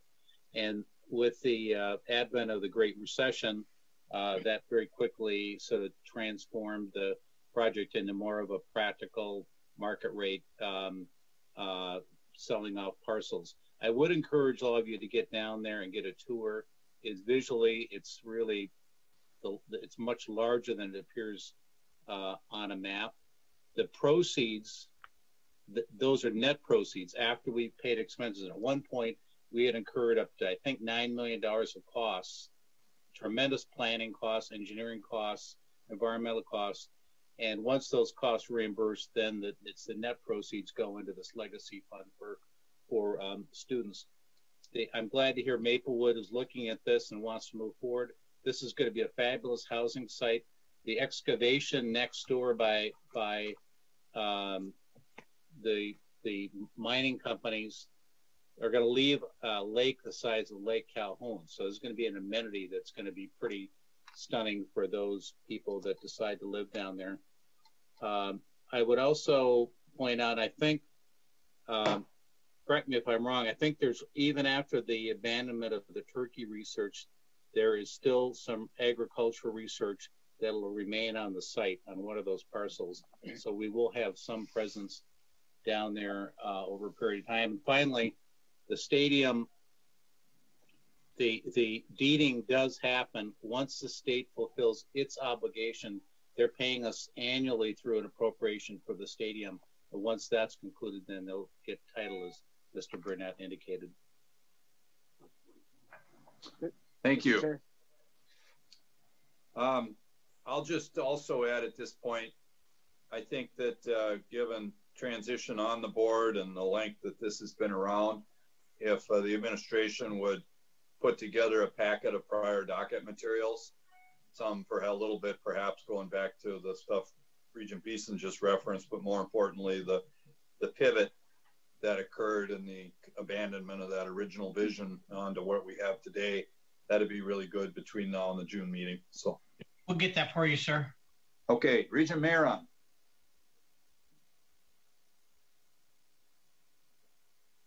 Thank you. The questions I had had to do with the Umore transaction, and they have been answered by the previous uh, questions and answers. Very good. Thank you. Regent Powell. Uh, thanks, Chair McMillan. I, I, my question is on uh, 1015 uh, Essex.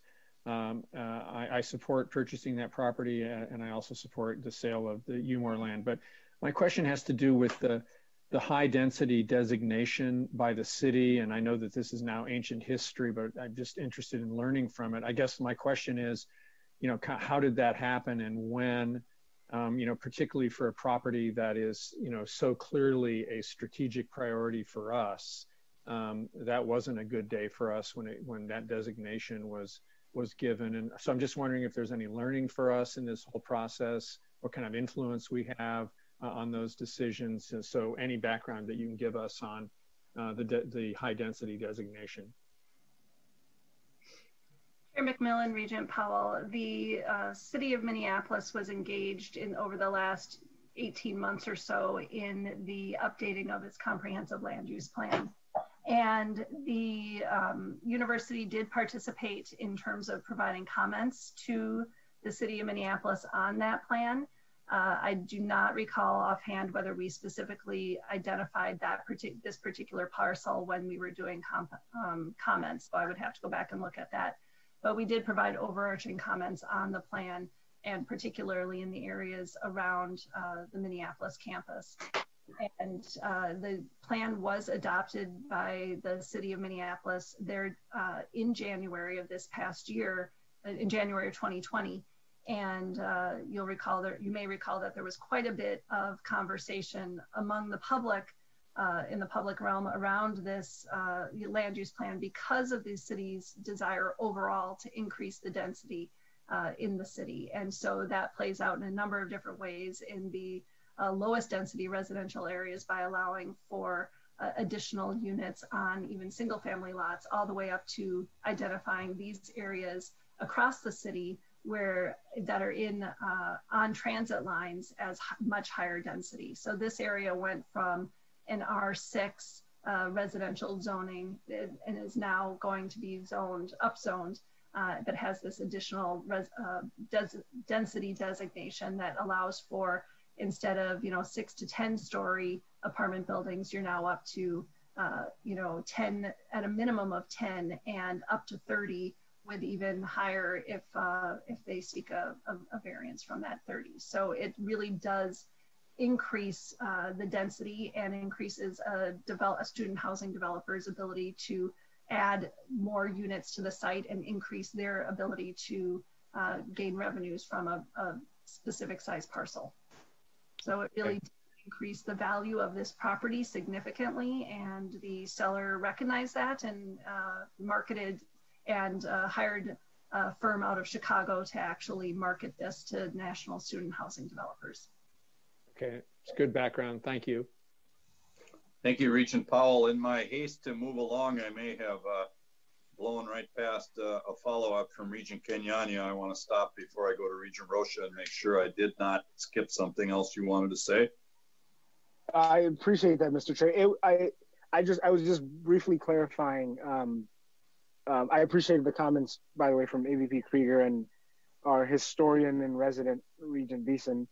Um, they were helpful, but I just wanted to clarify on. So my understanding is that the use of the legacy funds are are for the academic and research activities happening elsewhere on Umore Park, correct?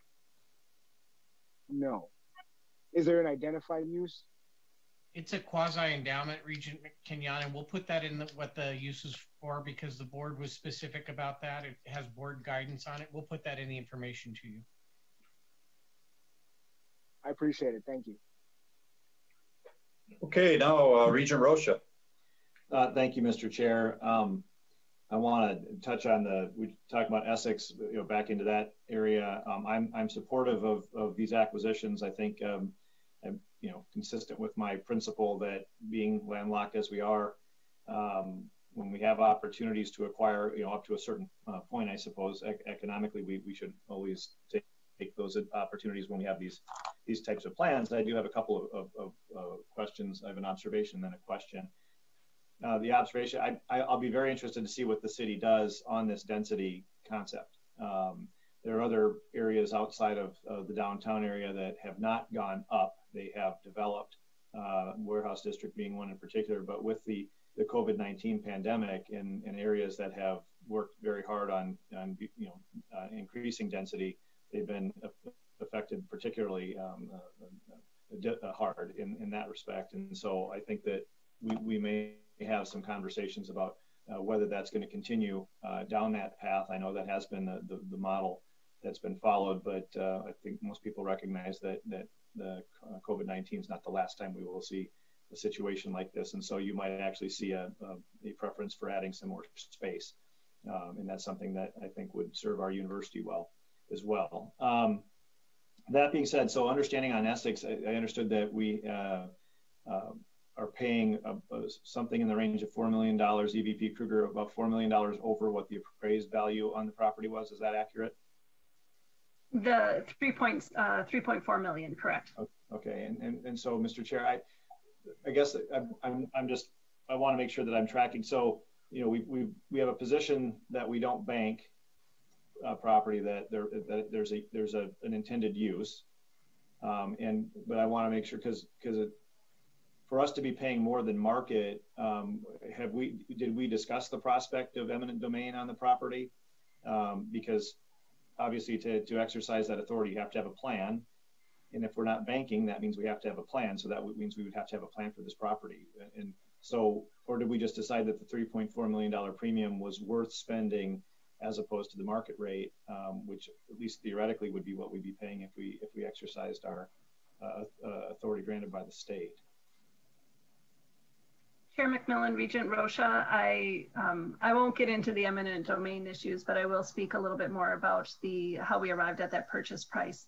Uh, as as you noted, the uh, and as I noted in my presentation, the appraised value for the property is twenty one point six million dollars, and uh, we arrived at and through the negotiations with the seller arrived at the 25 million based upon the uh, brokers at, uh, um, statements related to that they had other uh, interested parties that were willing to pay more than $25 million for this property.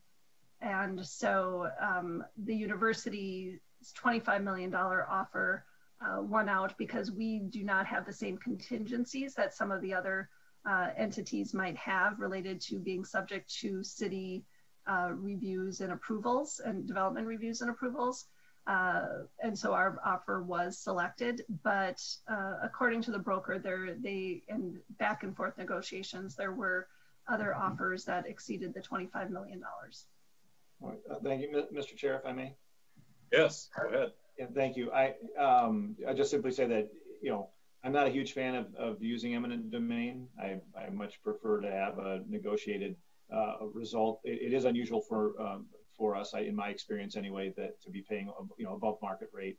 Um, but obviously these are unusual times, and, and I'm I'm not entirely convinced that there hasn't been a shift to in our in our favor based on what's happening with demand and even enrollment numbers and so on. But I got a few more sort of technical questions, but I can do those offline since this is only for information. Thank you, Mr. Chair.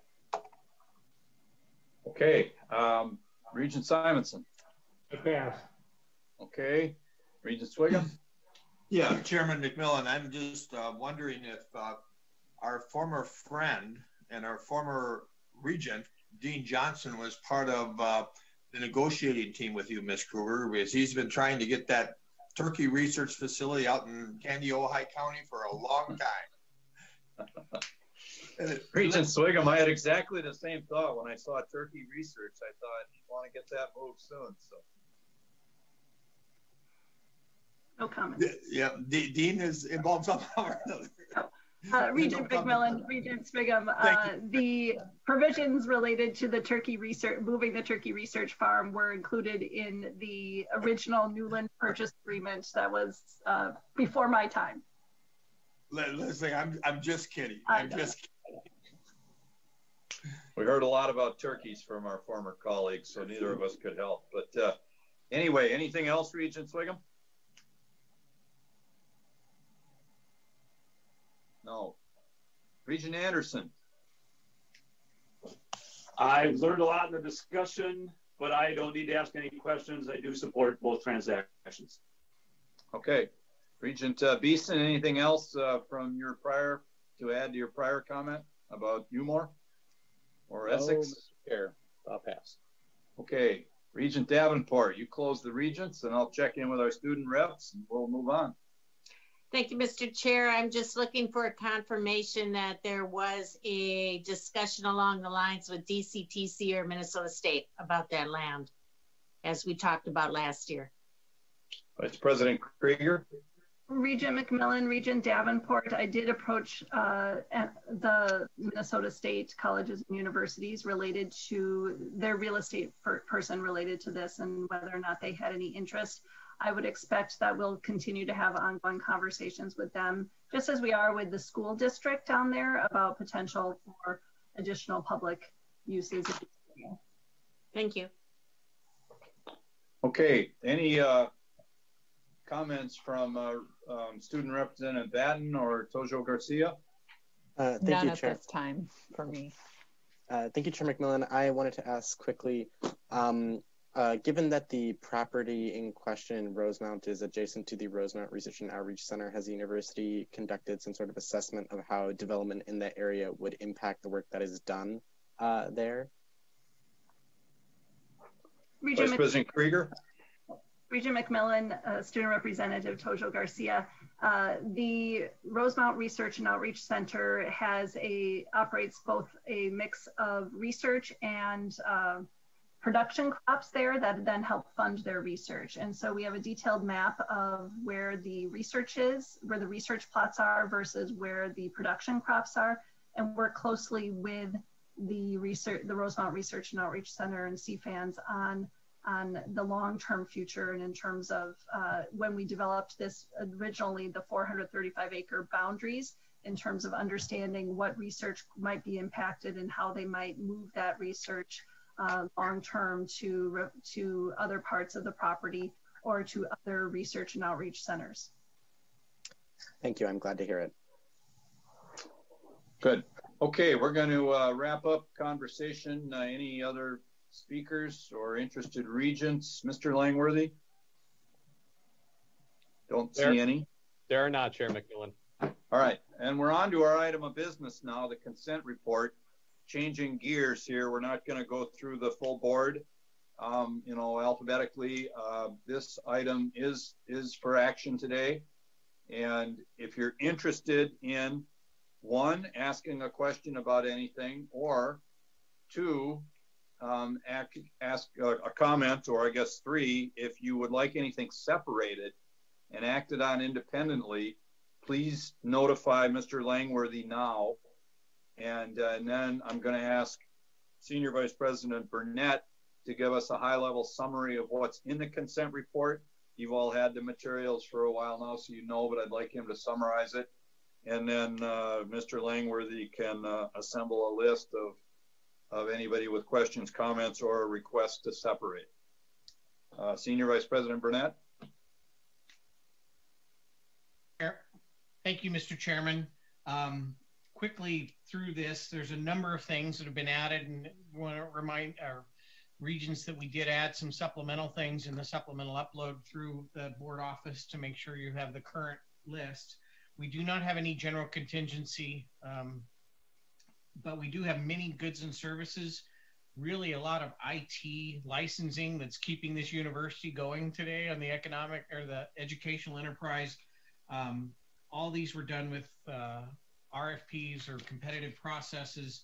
Unis in there. I want to highlight the two on the on page 218 around U.S. Bank and Wells Fargo, and call out the work of Associate Vice President Volna and Associate Vice President Mason and their teams.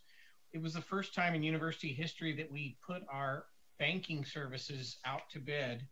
Um, we got 13 banks interested, professionals from HR, IT, um, and not only did we keep our two banks, uh, Wells Fargo and US Bank, for all the big banking needs around the world that the university has, but we will save the university 531,000 annually, or almost 3.2 million over the six-year life of the contract. And that's just tremendous work to get at or better service for about a half a million dollars less. And um, I just wanted to call that out. We do have amendments to the retirement plan required by the CARES Act, and that came up at a recent meeting. And then um, the faculty retirement plan has a lot of different things we have to talk about. And then we do have two items um, about course fee refunds for spring of 2020, some information um, about that on pages 222 and 223.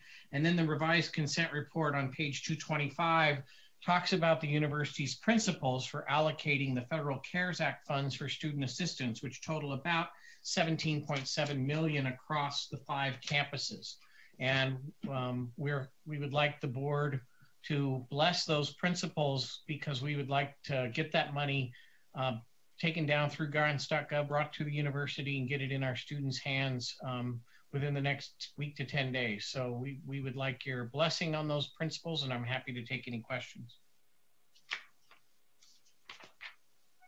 Okay, thank you, Senior Vice President Burnett. Just to clarify, I, I don't see any speakers showing up and no request to handle anything independently, but I want to clarify the CARES Act principles relate only to money to go to students. So the half of the money that goes there, not relative to the uh, the uh, recent communication we got from General Counsel about that, and the money that we we may accept at a later date as a university. Is that correct? That's correct, sir. This is the 50% the minimum that has to go to the students. Yes, sir. Good. Well, there's a lot of 18s floating around because that happened to be the number that uh, I think uh, the dean of the medical school ended up with from the uh, the state to help with testing too. So we've got 18 potentially for the university, 18 for the university students, and uh, and 18 to do COVID testing. So a lot of 18s. We'll okay. take all of them. We'll take all of them helping our budget situation, sir. Indeed. And that of our students. I do see a uh, speaker now. Uh, Regent Hsu, question, comment, or a request to separate? CARES Act uh, from the others, please. You'd like to separate the CARES Act from the others? That's fine. We don't yeah. need. Mr. Langworthy, we don't need any procedural action. We just separate it, correct? That is correct, Chair McMillan. But Regent Hsu, can you clarify this is the the CARES Act, the student fees item you would like separated because there's also amendments to the faculty retirement plan. Yeah, the student the student part. Thank you. Okay. So let's see here. Make sure I can do this right. Any um, we'll we'll take comments then and questions on the CARES Act student delivered money when we handle that separately. I would entertain a motion from a member of the board to consider and move on the remaining items, everything but the CARES Act student money uh, piece at this time. So move. Second. Moved and seconded to approve the consent agenda minus the item that Regent Hsu asked to have removed discussion on the consent agenda in its near entirety. Hearing none, all in favor. Oh, do we need to do a roll call vote, Mr. Langworthy? We do, Chair McMillan. Thank you. I was moving really quick there as five o'clock approaches. Will you please take the roll? On the motion to recommend approval of the consent report with the exception of the CARES Act funds for student assistance, Regent Anderson. Yes. Regent Anderson votes yes. Regent Beeson. Yes. Regent Beeson votes yes. Regent Davenport. Yes. Regent Davenport votes yes. Regent Her. Yes. Regent Her votes yes. Regent Hsu. Yes. Regent Hsu votes yes. Regent Kenyanya. Yes. Regent Kenyanya votes yes. Regent Mayeron. Yes. Regent Mayeron votes yes. Regent Powell. Yes. Regent Powell votes yes. Regent Rosha. Yes. Regent Rosha votes yes. Regent Simonson. Yes. Regent Simonson votes yes. Regent Sviggum. Yes. Regent Sviggum votes yes. Chair McMillan. Yes. Chair McMillan votes yes. There are 12 yeses and zero nos. Thank you. There being uh, 12 yeses and zero nos to approve the consent agenda, minus the uh, student uh, cares element. That matter carries. I don't think Regent Anderson sent the gavel over from Alexandria today. So I'll just pound on the table minus his gavel. And we will now take up the remaining matter in the consent agenda. And I would turn back to uh, Regent Hsu to see if he has uh, any comment or any, how he'd like to frame his request to, uh, it's been moved out now. Do you have anything else you want to say before we, before we might act on that? Uh, yes, uh, Mr. Chair, thank you. Uh, I just kind of want to understand uh, how these were constructed and whether they're all identical. I haven't studied them enough to know if there's any um, differences between the different campuses other than the prices, the dollars. President Gabel, could you direct us to which member of your team might answer this, or if you want to? Uh, I would uh, defer to Senior Vice President Burnett, please. Okay, that's what I thought, but I wanted to be sure. Thank you, Mr. Chair. Um, just a little bit of background. I know it's getting late. The University of Minnesota was notified by the U.S. Department of Education that financial assistance under the recently enacted CARES Act is available to students and the campuses of public and private institutions, including the University of Minnesota. And the president, in consultation with the provost and our four chancellors, have developed a set of principles consistent with the Department of Education's compliance requirements to apply to awarding of these one-time federally funded student aid funds. These principles are noted on page 225 of the docket. And I can tell you that, um, you know, the guidance has been um, broad, but there's been a, a, lot of work done across the campuses to get this um, as fair, as, as consistent in the students' hands as possible. I will say, though, there are provisions and um, the board was notified under separate cover that there's some requirements under the federal law around our maintenance of our um, employment of contractors and employees to the extent practicable um, with all the CARES Act funds. And so I just want to just put that in the uh, for the board's note that you were notified separately about just some of those implications with us accepting these dollars and that we have that um, in front of you as well. But this was a system-wide effort, Regent Hsu, um, to be as consistent as possible. The allocations to each of the campuses were made based on each campus's share of Pell students and the number of Pell eligible students. And those allocations by campus were set by the U.S. Department of Education. Thank you, Vice Senior Vice President Burnett. Uh, Regent Hsu, anything else? Uh, yeah, I was just wondering. Um, so we received some information, and then I believe was there more guidance put out after we had received that information from uh, from the federal government? Um, Regent McMillan, uh, Regent Hsu, there seems to be guidance coming each day that there's more um, questions from the, the institutions across the country. As we print, put this together um, as a revised consent report, this is the guidance we have as of today is reported in this uh, item for your consideration. Mr. Chair? Yes, Regent Hsu. Thank you, Mr. Chair. Um, so how does how is this going to affect students who, who have graduated um, in the most recent spring or graduating in the most recent spring quarter or semester? Um, Mr. Chairman, I do not believe that students that are graduating are, are, ineligible for this. I believe our financial aid offices are working on a plan about unmet need and to try and meet the spirit of this intent.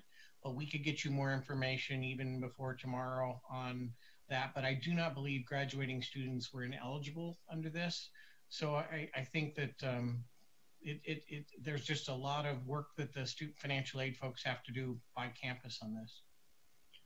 Okay, I, I would appreciate uh, some more information by tomorrow. Thank you.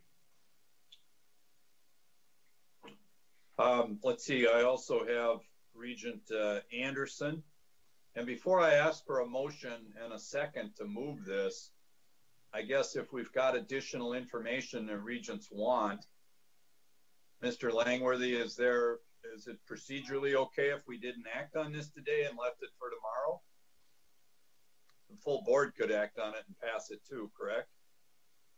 Chair McMillan, the, the full board could take it up. The committee could forward it without recommendation uh, to the full board. Uh, you could offer it that this was considered without recommendation. That that would be one option. Uh, the other option certainly is that uh, could vote now and could, uh, of course, change their their votes at the full board level if there was additional information that uh, made them uh, want to do that. I think I'd prefer at this point, given that the committee and the board are one and the same, to hold off and not and and let regents assess whatever additional information administration brings forward. And uh, with the board chair's permission, handle it that way tomorrow rather than take a vote today and then, you know, potentially have regents voting without all the information they want. So is it clear what information we need? And then I'm going to turn to uh, to Regent Anderson. Uh, Senior Vice President Burnett, did that come through clearly so you know what you're looking for there or what the administration is going to get? Yes, Mr. Chairman, we'll do our very best to give what um, what we can before tomorrow. We'll get right. it. We'll work with the uh, financial aid offices to get that for you. Okay, Regent Anderson.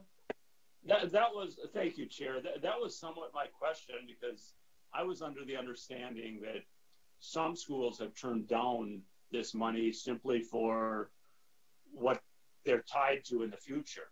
And I was wondering if we voted on this, you know, I, has the Minnesota University of Minnesota have we decided to accept the money before we vote on? If we're just voting on the principles of where it's going, I'm fine. But I'd also like to know what are the ramifications we have if we accept it. That that's my just my question. Regent Anderson, um, you just asked what I should have asked as a follow-up when I clarified with Senior Vice President Burnett that the principles here relate to the 18 million that passes through us to students. The other 18 million is what I think we have a bigger decision to make about is whether we want that money. But I'm now talking like a general counsel or something that I am not, so I better be careful and uh, maybe I don't know if Senior Vice President Burnett can clarify that, or if we need General Counsel Peterson to weigh in but I believe that's a second exactly issue. my question. If we could separate it, we'll get you an answer before tomorrow. Okay, if I'm not going to seek a second and a vote on this right now, then I think we could pick this up. Is there a consent agenda tomorrow, uh, Mr. Langworthy? There is, Chair McMillan, but this could also certainly be considered within the committee's report reporting that yes. the committee took no action and then the board could certainly take it up. That's a better approach. Thank you.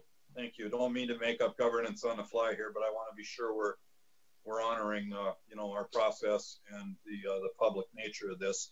So rather than bring a committee action to the board for ratification tomorrow, we'll bring the full consent agenda other than this uh, with action on it, and that will come with no recommendation for action tomorrow. Did I state that right?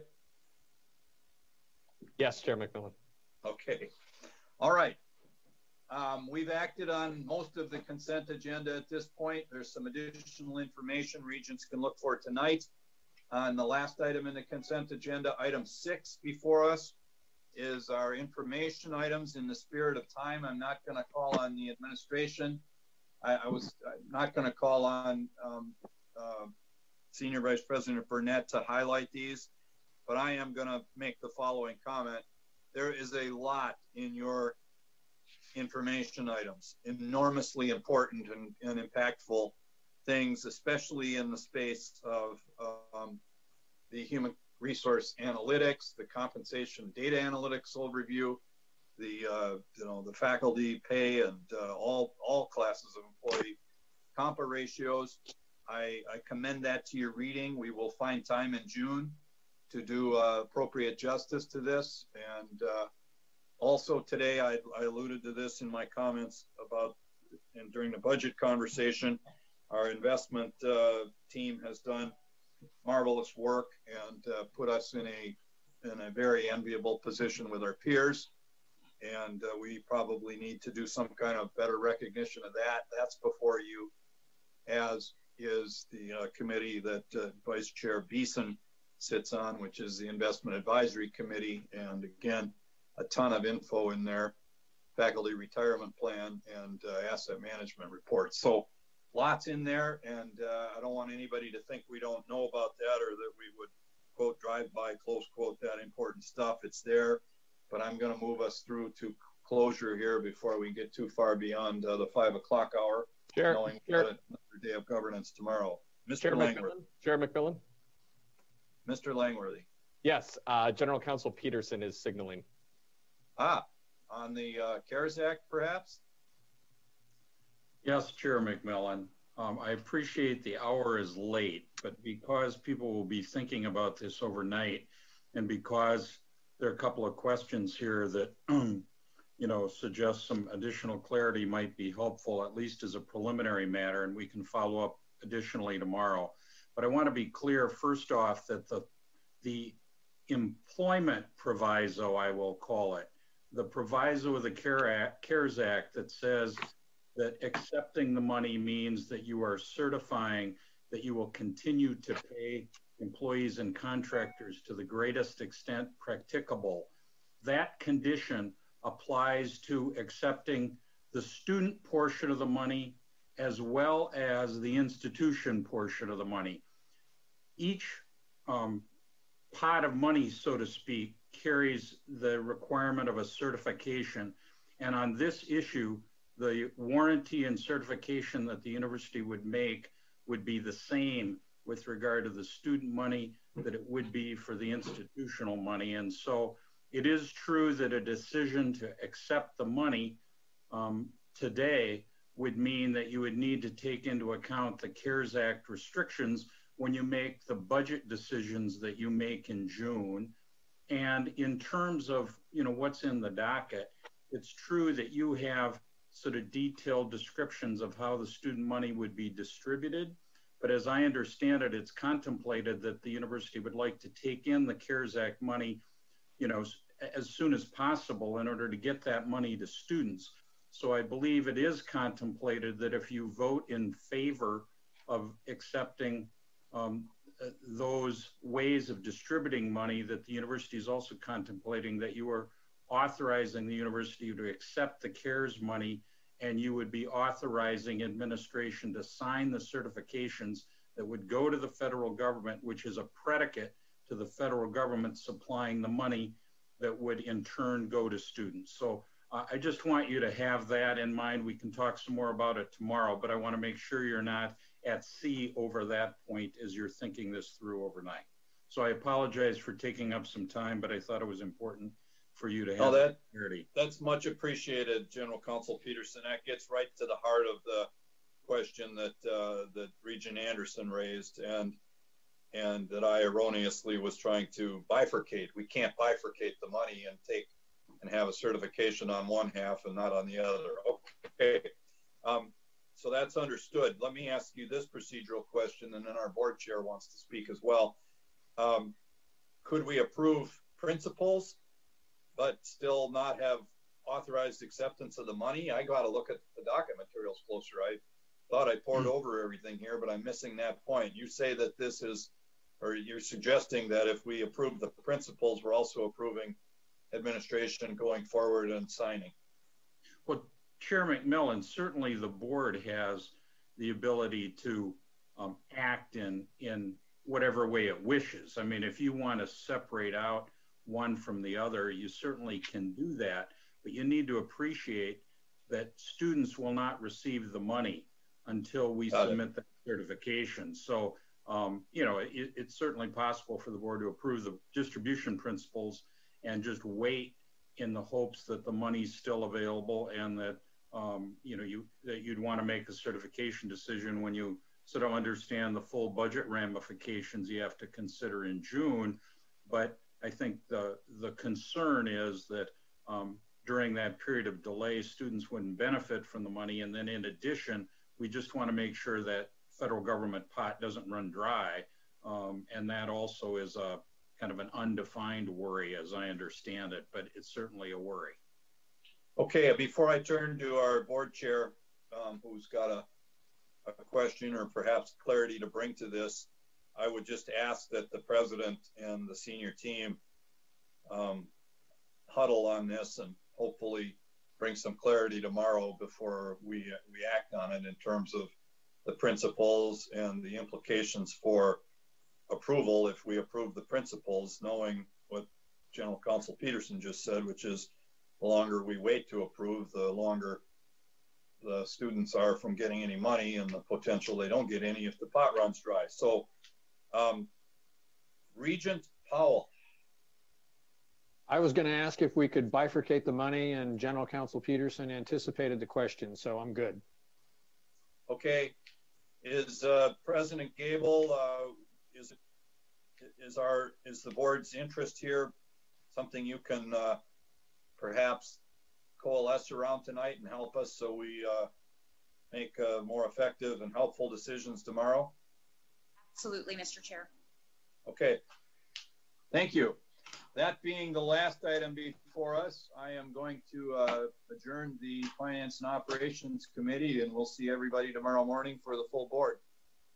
We stand adjourned.